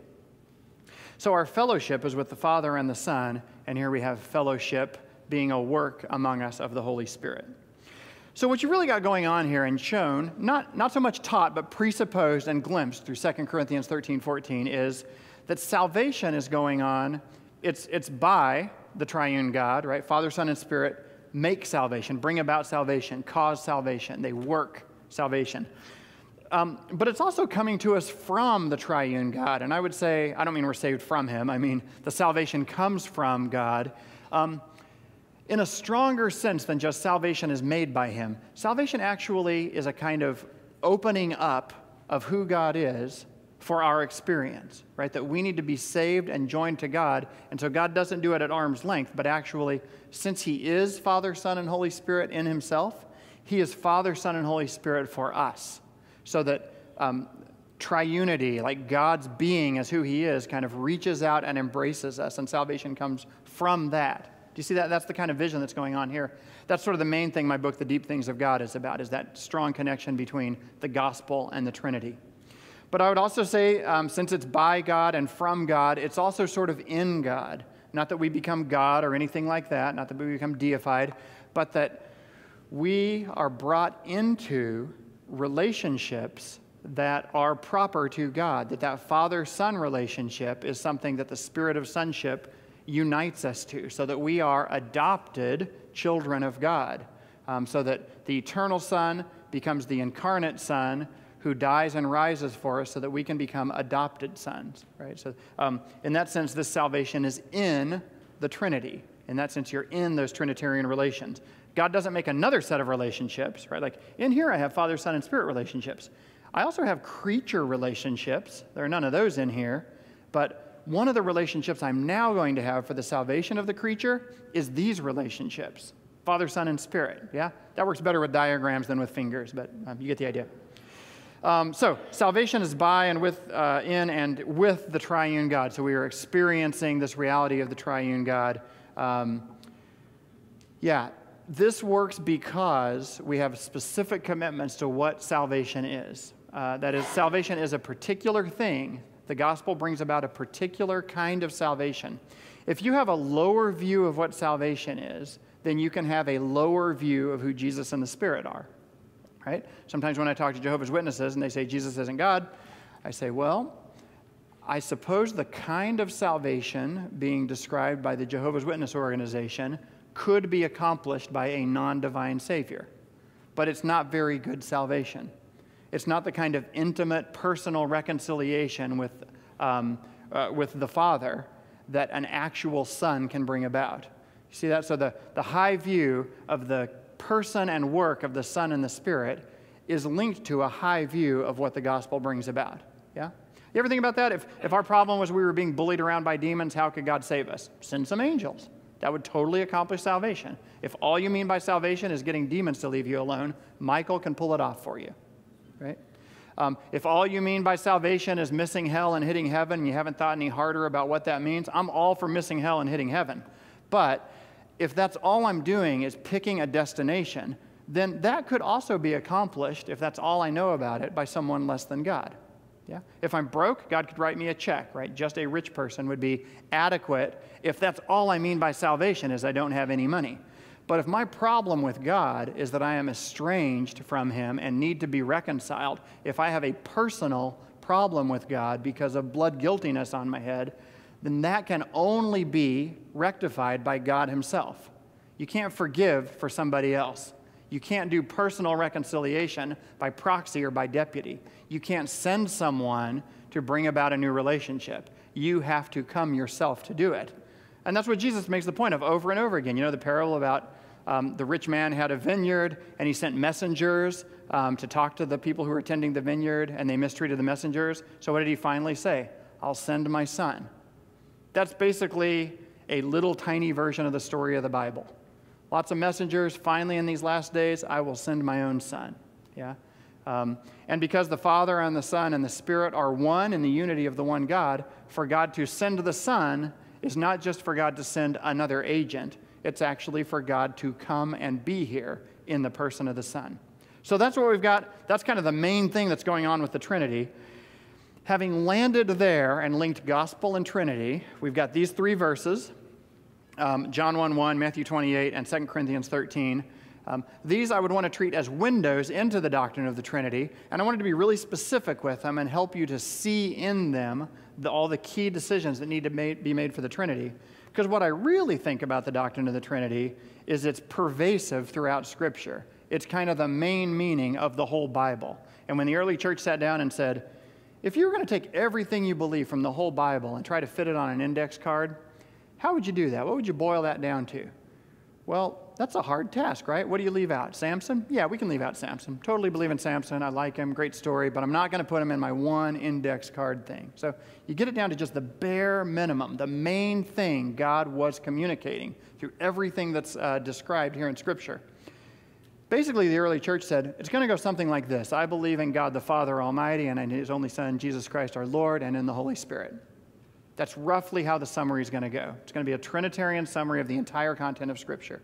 So, now that's what I actually think, and that's the way I really want to teach um, uh, the doctrine of the Trinity. But notice it's kind of unhelpful. Like if you ask me, where's the Trinity in the Bible? And I say, the whole thing, but also nowhere right? Like it's, it's, it's a biblical doctrine that's in between the pages of Scripture and all over it. Um, I actually do believe that, but it doesn't sound honest. So that's why I want to make sure to say, see these three, see the decisions you have to make in these points. That should be a window into the fact that Scripture is pervasively Trinitarian. And I hope that as you reread through Scripture, you'll be spotting Trinity everywhere from now on, right? That um, once I've kind of alerted you to it, I don't have to hold your hand and walk you through and make sure you see it everywhere. It's all over the place. It's like your next walk through the woods. If you walk through the woods all your life, you know, there's a certain path you always take, but then you go through with a trained conservationist who can tell you why everything is where it is. really? I had no idea those species would go together for particular reasons. From then on, you walk through it, from then on, you go, oh, I get it. Everything I see confirms what I have now been alerted to. That's what I hope and pray your experience of Bible study will be after this sort of um, intensive focus on the Trinity for a couple hours. So we're actually ready finally to get to heresies. I put this slide on here to make sure I remembered. Uh, oh, yeah, the heresies, right? That was kind of in the title. We got to get to that. So um, this brings us back to the logical diagram. It's a cold analytic tool, but it really kind of brings together in one place all the logical relationships that you need to make the doctrine of the Trinity. And here's a person holding that diagram. I know you would like to avert your eyes, but I'm going to make you look at this for a second. It turns out there's a lot in the doctrine of the Trinity. And one of the things that this artist is struggling with is the fact that it's hard to say everything at once right? The doctrine of the Trinity is a really big and comprehensive doctrine. And so um, I've just, I got to get this off the screen here in a minute because this is terrible. Every, every hundred years or so, someone makes paintings like this, and every hundred years or so, the Pope and the religious authorities in charge say, stop it, right? However you say that in Latin, they issue an official encyclical saying, thou shalt not make such images. Um, back in the fourth century, Gregory of Nazianzus in uh, what's now Turkey said, Whoever thinks of God as some three faced thing will never see the face of God, whatever the face of God looks like. So it's something like, I don't know what the face of God looks like, but not that. But you know, you got to pity the artist. What's he doing here? He's going, God is one, but three, somehow at once. And whoever's seen the Son has seen the Father, so, and out comes this. And uh, that's, that's um, John and Luke, the evangelists, there on the little um, uh, clouds beside them. Say it, Juan ev- uh, Evangelis and uh, San Lucas there. Um, and they look like they're rolling their eyes. I think they're supposed to be adoring God or something or being pious, but they really look to me like, oh, brother. right? Which is my thought there. So, you know, I'm making fun of this poor artist who did his best to make you think about Jesus and God and the one God and the Father, Son, and Holy Spirit all at once. It is hard to get your mind around that whole thing, right? And so the concepts and the biblical judgments that we've made here, that we've seen in Scripture, that we feel, I hope that you feel the need to make those, they can kind of live in our head now as sort of a complex thing, which fortunately we can't, you can't say all at once. It's going to take a couple of sentences to get it all out. But if you made a painting of it, it'd be kind of awful. There it is. So we could get better. Not that there's a better painting of the Trinity, because, you know, good luck. Like, go paint the Trinity. That's, they're all, I've seen thousands of images of the Trinity. They're all wrong. And it's not like I can take a picture out of my wallet and say, they're wrong because I compared them to this. It's just you're not going to do it with visuals, right? I mean, you're going to make a set of judgments about what God has said in Scripture, and you're going to have one big, comprehensive biblical idea about who God is. That includes the unity of God, the oneness of God, the deity of Christ, the deity of the Spirit, all that stuff in this entire diagram. That's the great value of uh, a logical, conceptual, doctrinal kind of boiling down of all the wondrous glory of what it is that God has made known. And of course, it gives us a great tool to understand some heresies and to avoid them. So let me just name a few here and show you how they fit into the doctrine of the Trinity. One heresy to avoid tritheism. So um, we talked about asking what you think about the threeness in God. Well, if you say the threeness in God goes all the way to the being of God to the extent that there are three beings in God, that's just to say that there are three gods. And so that's tritheism, uh, you know, three godism. That's an error. For one thing, it would mean you couldn't carry the entire Bible around. You're going to have to get rid of the monotheism of the Old Testament, which is, of course, reaffirmed in the New Testament. Yeah? So this is a monotheistic book that tells us about the Father and the Son and the Holy Spirit always having been there, being in the nature of God. Now, who believes tritheism? Not many people. This is actually very rare. Um, I start with it because it's an obvious error to make with the doctrine of the Trinity, but it's very hard to find tritheists either now walking around, knocking on your door, trying to get you to join their group, um, or in the entire history of the church. It's just, you got to work pretty hard to, to read this book and come up with three gods. But it's important for us to avoid giving the impression of tritheism. So if you get really excited about the Trinity and start talking a lot about Father, Son, and Holy Spirit, um, you can sometimes give the impression that these three are kind of a club. And this especially happens when, when some people get excited about the Trinity's like a team that really sticks together. So, team, we should stick together because we're a team like the Trinity. Well, I don't think that person's a tritheist, but that kind of argument um, begins to go in the direction of tritheism. Do you see that? So it's, it's not a tritheist argument, but the difference between the three person team I'm on and the triunity of God is so great. I would say it's infinitely greater than the similarity between God's team and the three person team I'm on, right? So if you got an analogy and the point of similarity is infinitely inferior to the point of dissimilarity, it's, it's probably too limited to work with, yeah? And people will also apply this not just in terms of a three person team, but of a church. They'll say something like, I have some Bible verses that make me want to say the entire church community, community is a great warm word that we use a lot now. This whole community is like the Trinitarian community. Well, again, I don't think that's the heresy of tritheism. I don't think it goes that far. Um, but it can give some people the impression of tritheism. Does that make sense? So if you start using that kind of language, um, kind of try to try to simultaneously hear what it sounds like and what it might sound like to a listener. It's especially important if you're dealing in a context where you're talking with a lot of Muslims, because an intelligent, educated Muslim that hears you talk that way is going to think, I knew it. I knew Christians weren't monotheists. And so you're going to want to be able to address them in a way that doesn't confirm their suspicion that we're not tritheists. Uh, wait, that we are tritheists. Uh, I got lost at the end of that sentence. Right? Um, you want to reassure them that Christians are doing monotheism. Yeah. Other things to say about how to communicate that with um, Muslims, but where you will find something like tritheism is Mormonism, kind of. So, um, some Mormons or members of the Church of Jesus Christ of Latter day Saints are really warm to Trinitarianism because when you start talking a lot about the Father and the Son and the Holy Spirit, they see three who are God, and that reminds them that in their way of understanding what God or a God is, there are multiple beings who are God. So, there's a sense in which Mormons will tell you they believe in the Trinity and they kind of do. One way to say this is that, well, they don't believe in the Trinity. They believe in three who are God. It's just that they believe in three beings who are God. In fact, they believe in a whole lot of beings who are God because it's not ultimately a monotheistic uh, way of believing in God, right? Ultimately, if God is a glorified human, uh, then you're dealing with an actual polytheistic setting. Does that make sense? So Mormons can be very confusing on this front, but I, I almost won't talk to Mormons about the doctrine of the Trinity, um, either at the lay level, you know, when I just meet them uh, in life, or even at the scholarly level when I'm talking to them at a theological conference.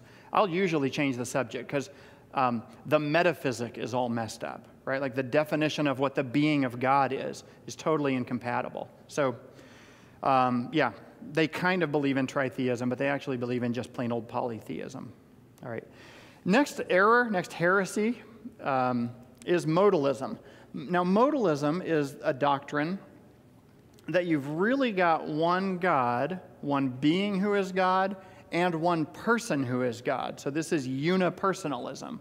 Um, modalism is you've really got one God doing three things. Notice, not being three persons, but doing three different things. So that ultimately, generally, the Father is the real God, they would say. And the Father does sonship and then does spiritship, something like that, right? So you really got this one unipersonal God who sort of does three different things, and we should approach those as three different ways. Um, there are lots of different ways to teach this. One would be sort of um, a dynamic way of doing it, like first he's God the Father, then he's God the Son, then he's God the Spirit. It would be kind of like serial, like talk about serial monogamy. This would be like serial monotheism, right? Um, so, like, first he's the Father and he makes the world, then he starts feeling sonly, so he becomes incarnate, then he gets all spiritual and becomes the Holy Spirit, right? But it's the same person doing these three different things. Now, then you might say, no, wait a minute, I think they're all on stage at the same time, right? So it's not like Clark Kent left and Superman came in. That won't work because I actually saw Clark Kent interviewing Superman, so they must be different persons. So, for instance, the baptism of Christ. The Son is in the water. The Father says, this is my beloved Son in whom I'm well pleased, and the Spirit descends in the form of a dove. Seems like you've got to hire three actors there if you're going to film that, though one is a bird and works cheap. Um, so that would then make you say, I'm still going to be modalist because I still believe there's essentially one unipersonal God.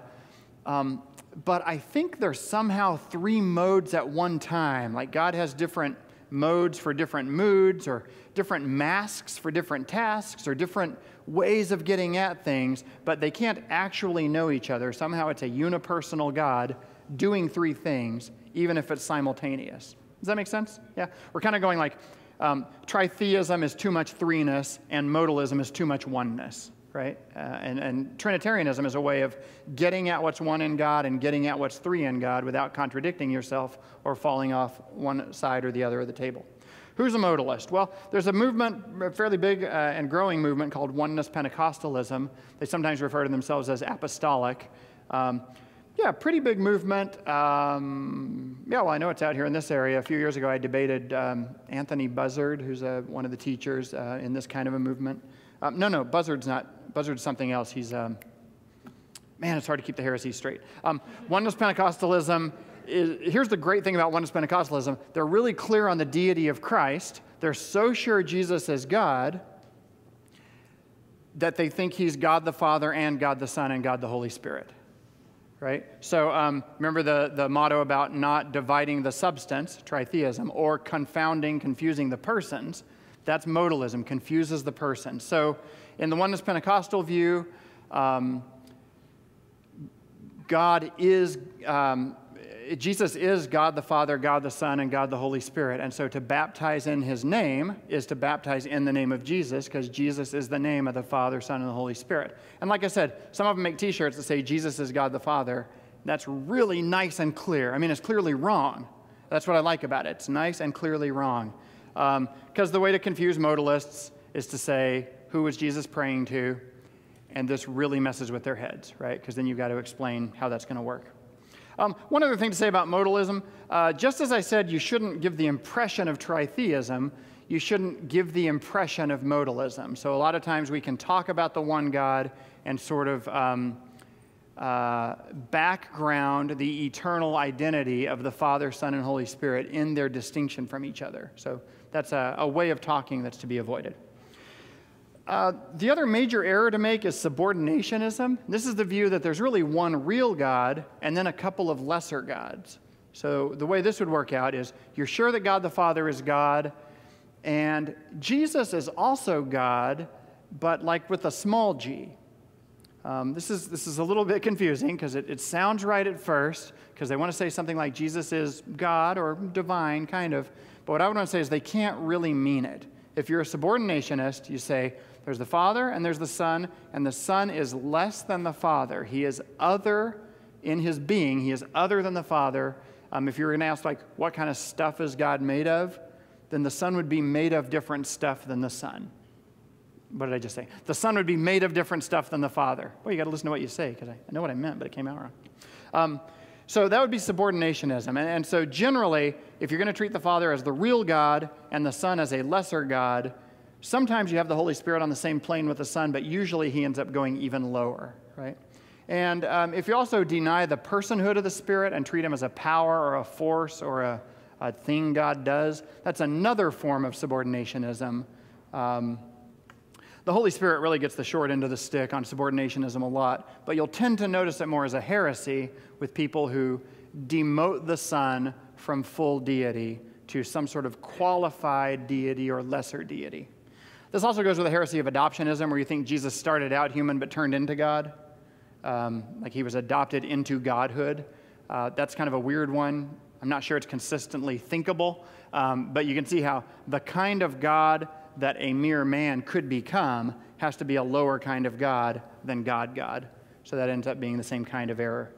Who is subordinationist? I'm not asking for a show of hands, I'm, I'm going to give some examples.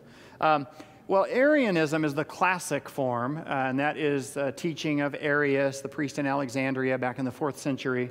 Um, and it's pretty straightforward that the one God made everything, but first, he made the Word or the Logos, and then through that super angel, highest of all possible creatures, the Word, the one God used that super creature to make everything else. Here's the tricky bit with the Arians they could even say um, that the one God made the Word who then made time.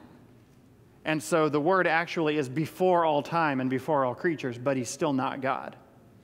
Um, now, that's kind of cool because compared to someone who thinks Jesus is just human, someone who thinks he's the superest, duperest angel ever has a relatively high Christology. You see that? The difference between someone who says Jesus is just a man and someone who says Jesus is the first and greatest angel through whom everything was made. But think about that. Go to the very highest possible creature and then consider the jump from there to God. How far is it? Well, it's still infinite, right? So the greatest creature might be way above a mere man, but who cares? It's sort of like saying, I can swim further toward Europe than you can, right? Like none of us are going to get there, so it really doesn't matter. Like on a satellite photo, we're both going to drown at the same place, right? You'd have to really zoom in to see who got closer. I guess from here we'd rather swim to Asia.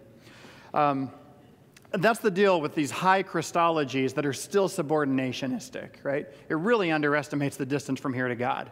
Like, doesn't matter how high, how far your flying leap can go, it's still just a flying leap from the creature's side. And there's still an infinite distance between the highest creature and God.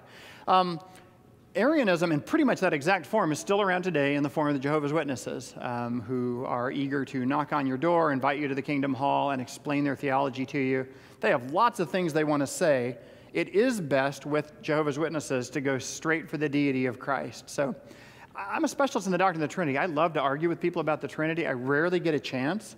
Mormons want to argue about the Trinity. I'll change the subject to what their idea of God is, right? Like what, what kind of a God could be polytheistic, etc. Jehovah's Witnesses always want to argue about the Trinity because they think it's complicated and easy to attack. I always change the subject to who do you think Jesus is, right? Because unless you've got Jesus as fully divine, you wouldn't need the doctrine of the Trinity, right? If Jesus isn't God, well, all your hard thinking is done at that point, right? The hard and interesting bits come once you affirm Jesus is God and there's only one God and Jesus isn't the Father. That's when you have to kind of going to go into this whole thing. Okay, um, last thing to say here, those are the main heresies. Last thing I want to say is that there's a danger zone. It's not heretical, but it kind of gets us into a danger zone when you start thinking about illustrations of the Trinity. Now, I already showed you up there in the left corner truly horrific literal illustration of the Trinity, a painting of the Trinity. That's just bad. I'm leaving it up there to scare you because we're close to Halloween. Um, here's the thing to remember when you start getting into illustrations of the Trinity. First key point is there's nothing like God or like God's triunity, right? Um, there's nothing like God. So a lot of times I say, hey, I'm going to talk about the Trinity. I talk about the Trinity, and people ask, what's a good illustration of the Trinity? And I always have to say, well, there isn't one. Right? I mean, I can offer some examples, we can argue by analogy, and we can give some metaphors and things, but it's sort of like I said if I said God made heaven and earth, and you said, What's that like? Can you be an example of something else that made heaven and earth? Like, what's something like that? Well, nothing's like making heaven and earth. Like, I made a sandwich this afternoon. That's kind of like making heaven and earth, don't you think? It's got two layers, yeah. Um, but no, it's you know, it's a little bit like making heaven and earth, and it's infinitely different from making heaven and earth. So it can give you a really dim view, like, oh, I guess that's what creating the cosmos ex nihilo would be like. You just made everything from nothing, sort of like you went to the fridge and got out meat and made a sandwich. Um, so this is about your expectations. If I say there is one being who is three persons, and you say, really, what's that like? then I have to say, it, it's actually not like anything. Sorry, I'll see you later, right? Um, now, you know, you can do more than that. There's some things you can do to kind of help conceptualize and little illustrations like, you know how when I'm out and I get a sunburn, it's because the sun has been here on my hand, but, and yet the sun is there, and yet the light of the sun is the presence of the sun. You can't divide the sun from the shining of the sun. What would the sun be without its shining? That's kind of like the relation of the first and second person of the Trinity ooh, that's neat. You can really kind of do something with that and think about it, right? You can actually kind of do a unity distinction thing there, yeah? I talked about Fred being Fred and being with Fred. That's kind of an illustration of how it couldn't work. Um, but you see how you can, you can really let your mind go and actually reach out and try to get your mind around these concepts. That's fine to do that. Be careful when you think you've really nailed the illustration that gets it, right? You're likely to paint one of those three faced things. Because here's the other thing most illustrations are a little bit helpful for understanding the Trinity, but are perfect illustrations of subtrinitarian heresies. Right? this, like most illustrations you come up with, like, I think I've got something for what the Trinity is like. I'm like a, I'm a speaker who goes and talks in churches about the Trinity, and I'm also a husband who's married to my wife, and I'm also a father of my children. So, like, there's one me, but there are three different me's. That's kind of how it is, right? You're going to go, well, that's, that's a, gives me a little inkling that's a little helpful for relating one and three. So, you know, tiny little glimpse there, maybe. But it is a perfect illustration of the heresy of modalism. Like, that's brilliant. That exactly incorporates the modalist heretical error. Good job. So, what you got to be careful with with these illustrations is to make sure you're using them in the right way, be clear what you're using them to help you get your mind around and specify conceptually, and then say no a lot the whole time, right? Like, it's not like this, it's not like that. It also means don't think about getting the right illustration as being the capstone of your knowledge of the Trinity. Like, I'll really understand the Trinity if I can tell you what it's like. Well, remember point one it's not like anything, right? Like, give me an example of, give me an illustration of someone who's omniscient. Sorry, one, God. Okay. Well, give me an illustration of omnipotence. Again, we're, we're talking about God here. Okay, then give me an illustration of the Trinity. Well, in this sense, the, the doctrine of the Trinity is nothing special. It's one of the things that names what God and God alone is. And so there's a story about St. Patrick uh, uh, evangelizing Ireland, and um, he picks up a shamrock and says, Hey, you Irish guys, you love shamrocks, right? Behold, God's kind of like this one shamrock, three petals, or whatever you call those things. Well, according to the legend, the Irish all fell down on their knees and said, Begorra, we'll worship the Trinity. All I have to say is if you have a chance to convert Ireland in one fell swoop, go for it, right? Like, use whatever illustration you want. Apparently, it worked, and results actually matter. But the longer you think about a shamrock, the less it's like God right? like, it's not one and three in anything remotely resembling the way God is one and three. Now, it led to the conversion of a whole nation and lots of beautiful Celtic artwork, so great. I'm not upset about it. Um, but you also can't do much more with it conceptually than that, yeah? Because God's not like anything. The last point here on illustrations is the main things in the doctrine of the Trinity are the plain things. That means God the Father saved us by sending the Son and the Holy Spirit. Um, if you want to know what God the Trinity is like, God the Trinity is like the Father so loving the world that he gives his only Son, and in the fullness of time, putting the spirit of sonship into our hearts by which we cry, Abba, Father. That is to say, the Trinity is not out there somewhere where we're wondering what to compare it to. The Trinity is our experience of God in the gospel, right? God has opened his life up to us so that this word of who he is is not far off, so we have to climb up analogies in order to get it. We're actually living an experience of the reality of the Trinity in living the Christian life. Um, so I would probably summarize all of that by saying that the Trinity is not a distraction from the gospel, but is a super condensed explanation of it, right? That's why in the book Deep Things of God, I say the Trinity is the gospel. But I also say don't put that on your bumper sticker because that suggests to people something like um, if the Trinity is the gospel, then I can only be saved if I affirm the theology of the Trinity, right? That's, that's how it sounds because people are still sort of, when they're reading your bumper sticker, they're kind of on the outside of the message, reading it, saying, so you're saying something like the Trinity is as important as the gospel and I have to affirm it or I'll go to hell. Uh, well, that's where we started, right? That's where we started when we were saying, if you think about it, your head will explode, but if you deny it, you'll lose your soul. Get inside the doctrine of the Trinity by getting inside the understanding and experience of the gospel. Once you're in there, you look around and say, this only makes sense if God is one God, Father, Son, and Holy Spirit, who has brought about our salvation by bringing us into fellowship with Him in this way. All right? Thank you.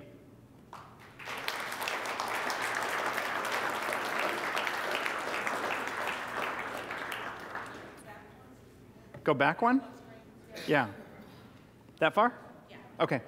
By the way, this, um, this presentation I put together, the software is called Prezi, P R E Z I. I mentioned that not as an advertisement, but to let you know this is online. If you go to prezi.com and just search for my name, Fred Sanders, um, this is there. You can, you can view it online, yeah, through any viewer.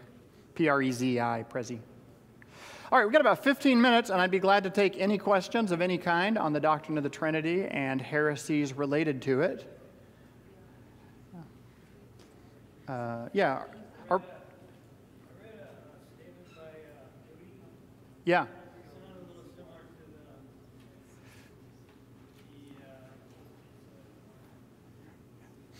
Oh, we're going to run the mic around the, to people. Uh, oneness, oneness, uh, Pentecostalism. Yeah. The uh, D.L. Moody had said something similar to um, uh, Christ being equal with the Father or being the Father, the okay. Holy Spirit, that he was nothing lesser, to say that uh, he was anything lesser or anything. Uh, I forget how he phrased it exactly, but I, Hmm. I thought it was kind of funny. Okay. So this is a, a statement by Dwight Moody that Yeah. seemed to, like you could interpret it in one direction or another. Uh, Yeah. Um, well, so a couple of things to say there. Uh, the thing about, in general, about heresies, they've always got this grain of truth to them, right? I mean, they're, they're, they've always got one element of truth that they're taking in isolation from the others and really uh, blowing out of all proportion. And so um, that's why you'll hear, you know, orthodox statements that remind you of heretical statements. And, and sometimes you can hear heretical statements and false doctrine will actually bring something to mind that you think, oh, that is important. They're saying it wrong, they're affirming it the wrong way, they're, they're using it to deny other things. But um, sort of like God uses affliction to build character, God can use heresy uh, to bring about greater understanding of the truth. Because the other thing about heresy, and that doesn't, um, just because God can use affliction to build character doesn't mean you should go out and afflict people and say that, like, the Lord works in mysterious ways and I'm one of them, right? Similarly, just because the Lord uses heresy to increase theological understanding doesn't mean we should let a thousand heresies blossom all over the church because, after all, they're going to work to build understanding, right? Like, those are, those are evils to be opposed, but God can make all things work together for good. The other thing is the grains of truth that heresies develop, not only are they little things that are actually true if they were understood the right way, they tend to be things the church has neglected. So um, you could kind of think of heresies in general as kind of a, I don't know, like a sweeper service that find the things we've let fall off the table and go for it, you know? So if you're in a church that's really good at affirming the deity of Christ, but we're not very clear on the humanity of Christ, like Jesus is so God, I can't imagine that how he could ever walk around and leave footprints anywhere. Right? Um, well, that's a dangerous situation that a church is in, and often a heretical group will come in and overemphasize the humanity of Christ precisely because we haven't emphasized it properly um, in the church. Right? So that's it. The other thing is we just need to cut each other some slack on um, on the heresy hunting in general. Um, so yeah, does Moody say things? I mean, Dwight Moody, great guy, did incredible things. Um, knew that he was not an educator. Uh, when he started a Bible Institute, he went out and hired somebody else to run it because I think Moody had a sixth grade education and thought, I can't run a Bible Institute. I can't run an educational institution. Let me hire R.A. Torrey. He's you know got two degrees from Yale. Um, when you hear someone say something that seems a little off uh, on, a doctrine like this, you know, you want clarity, so you could ask them questions about that and try to get clear on it. But you can imagine, as a, as a specialist who's kind of professionally obsessed with the doctrine of the Trinity, I hear all kinds of terrible things all the time um, in great churches. So, my home church, which I love, um, every now and then you'll hear someone pray something like, Father, thank you for dying on the cross for our sins. And, you know, I'm praying along and I'm going, wait a minute, what? The Father, the Father did what now? almost all the time, what's happening is the person has started praying and their mind has kind of gone to another thing, and they're praying that, sometimes in the same sentence, right? If you actually shook them from their prayer, say, wait, wait, stop praying and take a theology test real quick. Did the Father die on the cross for our sins? They'd almost always get the right answer, and you'd almost always be a jerk for stopping their prayer, right?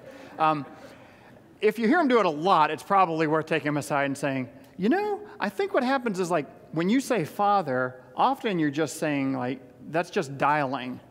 You know, like you're just dialing to start the prayer, and then you begin talking to Jesus. It's fine to talk to the Father and to talk to Jesus and talk to the Spirit, even in the same prayer. But a lot of times, people, since they're not performing in a prayer, um, they don't note that they've made a transition. So, similarly, I hear people thank Jesus for sending his Son for our salvation. And I think, what? Jesus doesn't have a son. Um, but I don't, I don't push the heresy buzzer right there either. I think that prayer kind of got away from you there, didn't it? Yeah. Yeah. Yeah. Okay, if you uh, use water, um, ice, and steam, that's modalism, right? If you, you're talking about the Trinity. Yeah, yeah. So the an illustration of the Trinity. Um, you get this a lot, you know, that water is one thing, it's H2O, but it can exist in uh, liquid form, solid form, or uh, gas form. Yeah. Yeah, so um, if that helps you kind of get your mind around a, a oneness of nature that can also be radically different in expression. Um, there's a little glimpse of something there. But as you point out, I think it's a perfect illustration of modalism, right? Uh, right, like first you, start with a block of ice, let's say it's an iceberg, and then you float it to the tropics and it melts and then it goes into the water cycle. You know, it's three, uh, three things that happen serially. Now, I always have a physicist in the audience who will talk about triple point and, and the possibility of the, yes. um, so, you know, you could do that. You could have a kind of a simultaneous existence of, uh, of the three forms of water, but you've still got three forms of water, three modes of water's existence. Um, and the other thing, triple points is a really complex thing to try to understand for non physicists. And so then we end up thinking a lot about water when we were supposed to be thinking about the Father, Son, and Holy Spirit, one God. So the illustrations are either really simple and give you one little glimpse, or they're incredibly complex. Like there are psychological images of the Trinity that are fascinating, that have given rise to whole theories of uh, personality development and psychotherapy. They're really interesting in themselves, and the more complex and elaborate they get, the less they are about God. Right? And so the whole point here is any use of illustrations is make sure they're harnessed, you know what you're doing when you use them, and you're trying to bring them back to the understanding of what God has revealed. Yeah. Here's one over here.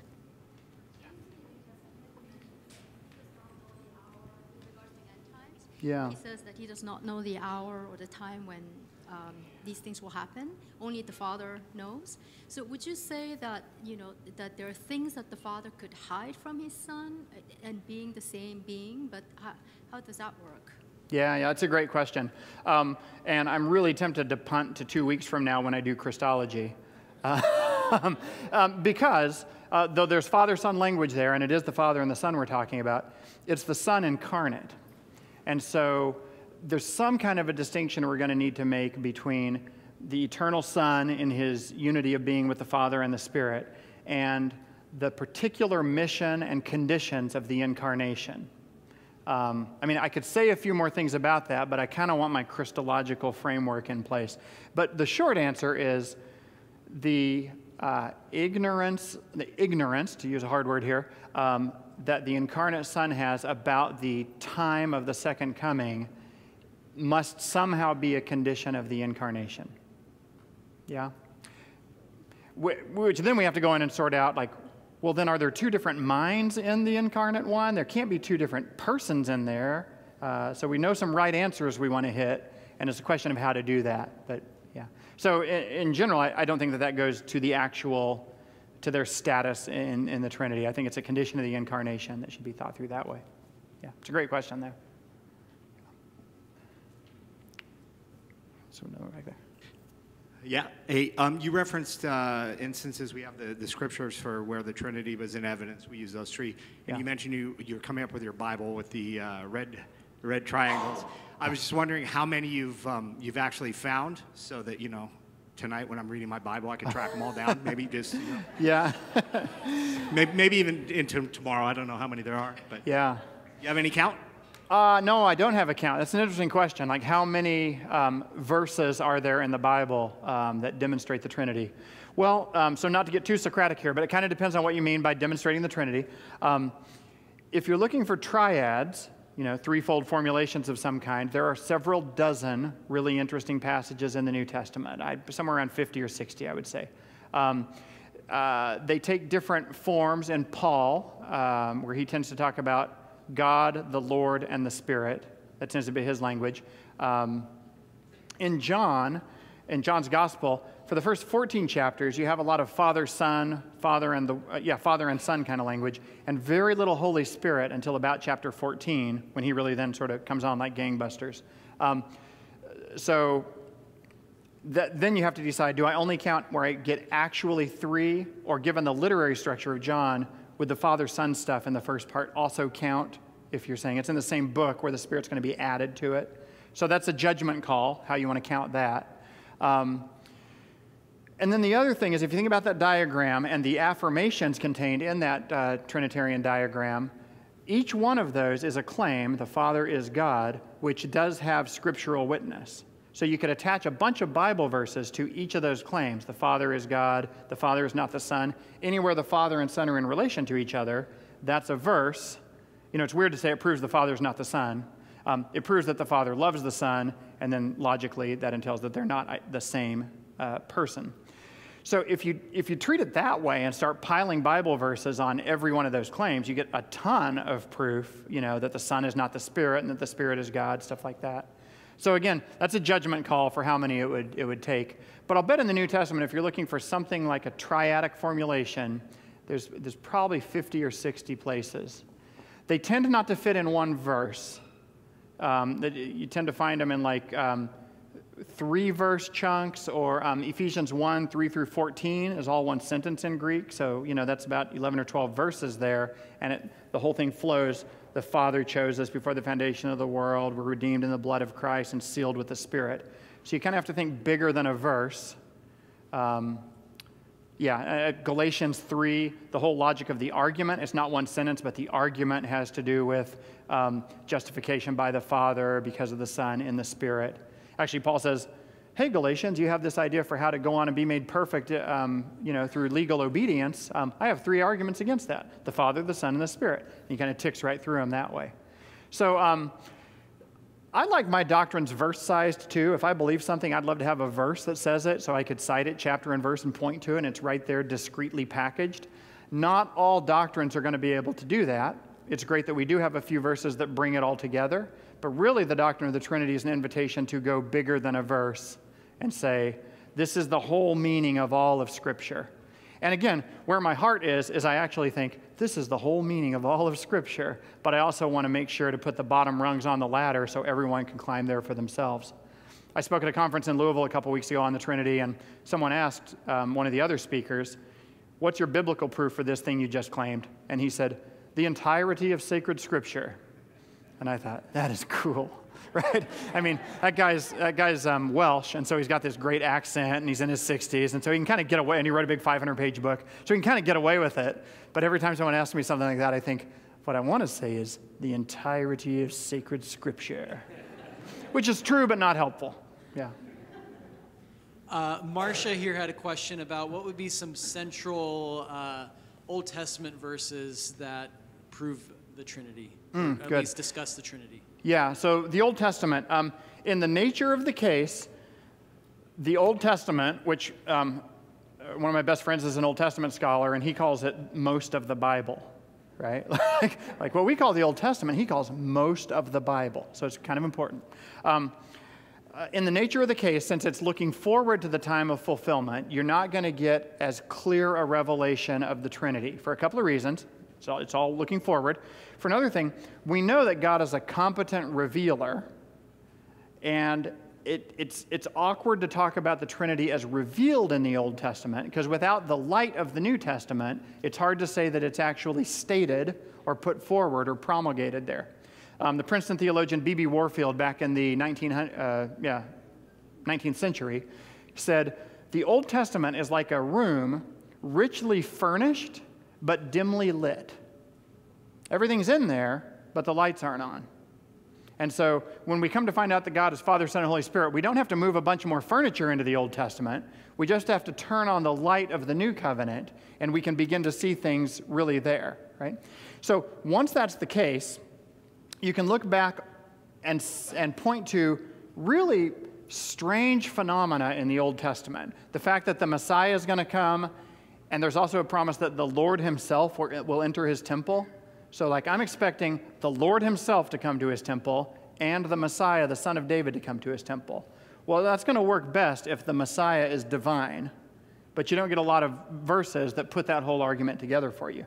And this divine Messiah is going to be, Messiah means the anointed one, so he's going to be full of the Spirit. He's going to bring the fullness of the Spirit, which is also something we're looking for in this time of fulfillment, that the Spirit will be poured out. And so it turns out all that kind of comes together. But again, that's the whole, that's the whole of sacred scripture kind of an answer, right? Um, some of the odd passages you can go to in the Old Testament, and most books on the Trinity will start here. They'll say, let's do the doctrine of the Trinity. First case, biblical case, you know, like first the Bible, then church history, then Christian life.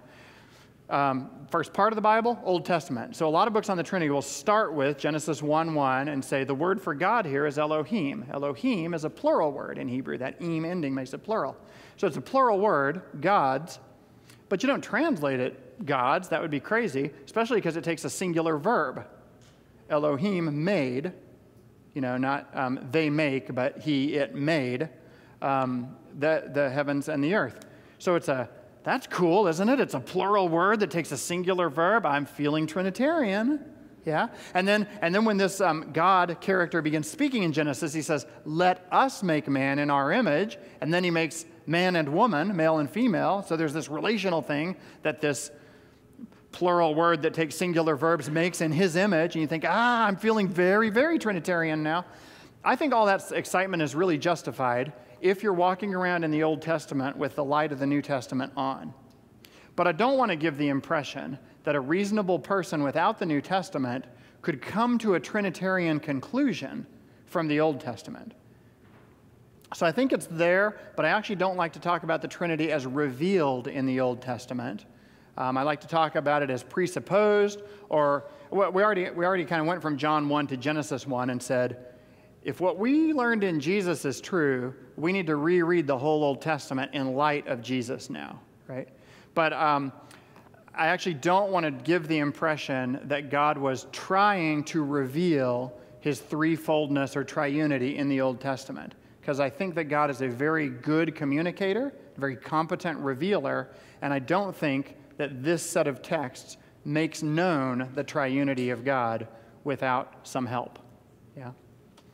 All right, uh, it's just after four, so I need to let you guys go. I can hang around and answer more questions. And if you bought a copy of Deep Things of God for the course, I'd be glad to sign it for you if you want my signature in your book. Let me close this in prayer before I turn you loose. Father, thank you for this time we've had together, Lord. Uh, thank you for your word. Thank you for sending the Son and the Holy Spirit to bring about our salvation and bring us to you. Uh, Father, this has been a wonderful time together to think about the things that you have made known. But Lord, it was a short time, and um, we've got entire Christian lives and uh, the life of the mind as we seek to seek greater understanding of you. So I ask that as you have undertaken to be our teacher, not just to send teachers, but to come yourself and lead us into truth through the Holy Spirit, Lord, I ask that you would take charge of supervise and superintend everything that's been said here, everything that's been heard here, every line of thoughts that, that has been started. Lord, would you take anything that's false or misspoken or might start someone down the wrong trail?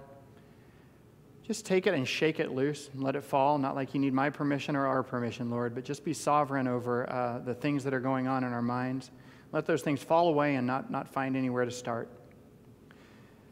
But Lord, anything that has been said here uh, that will lead people further into your truth, Lord, will, will you undertake to drive that further into our hearts and minds so that it could take root and grow deep and bear fruit and bring forth obedience and knowledge of you? We ask this in the name of your Son, our Lord, Jesus Christ. Amen.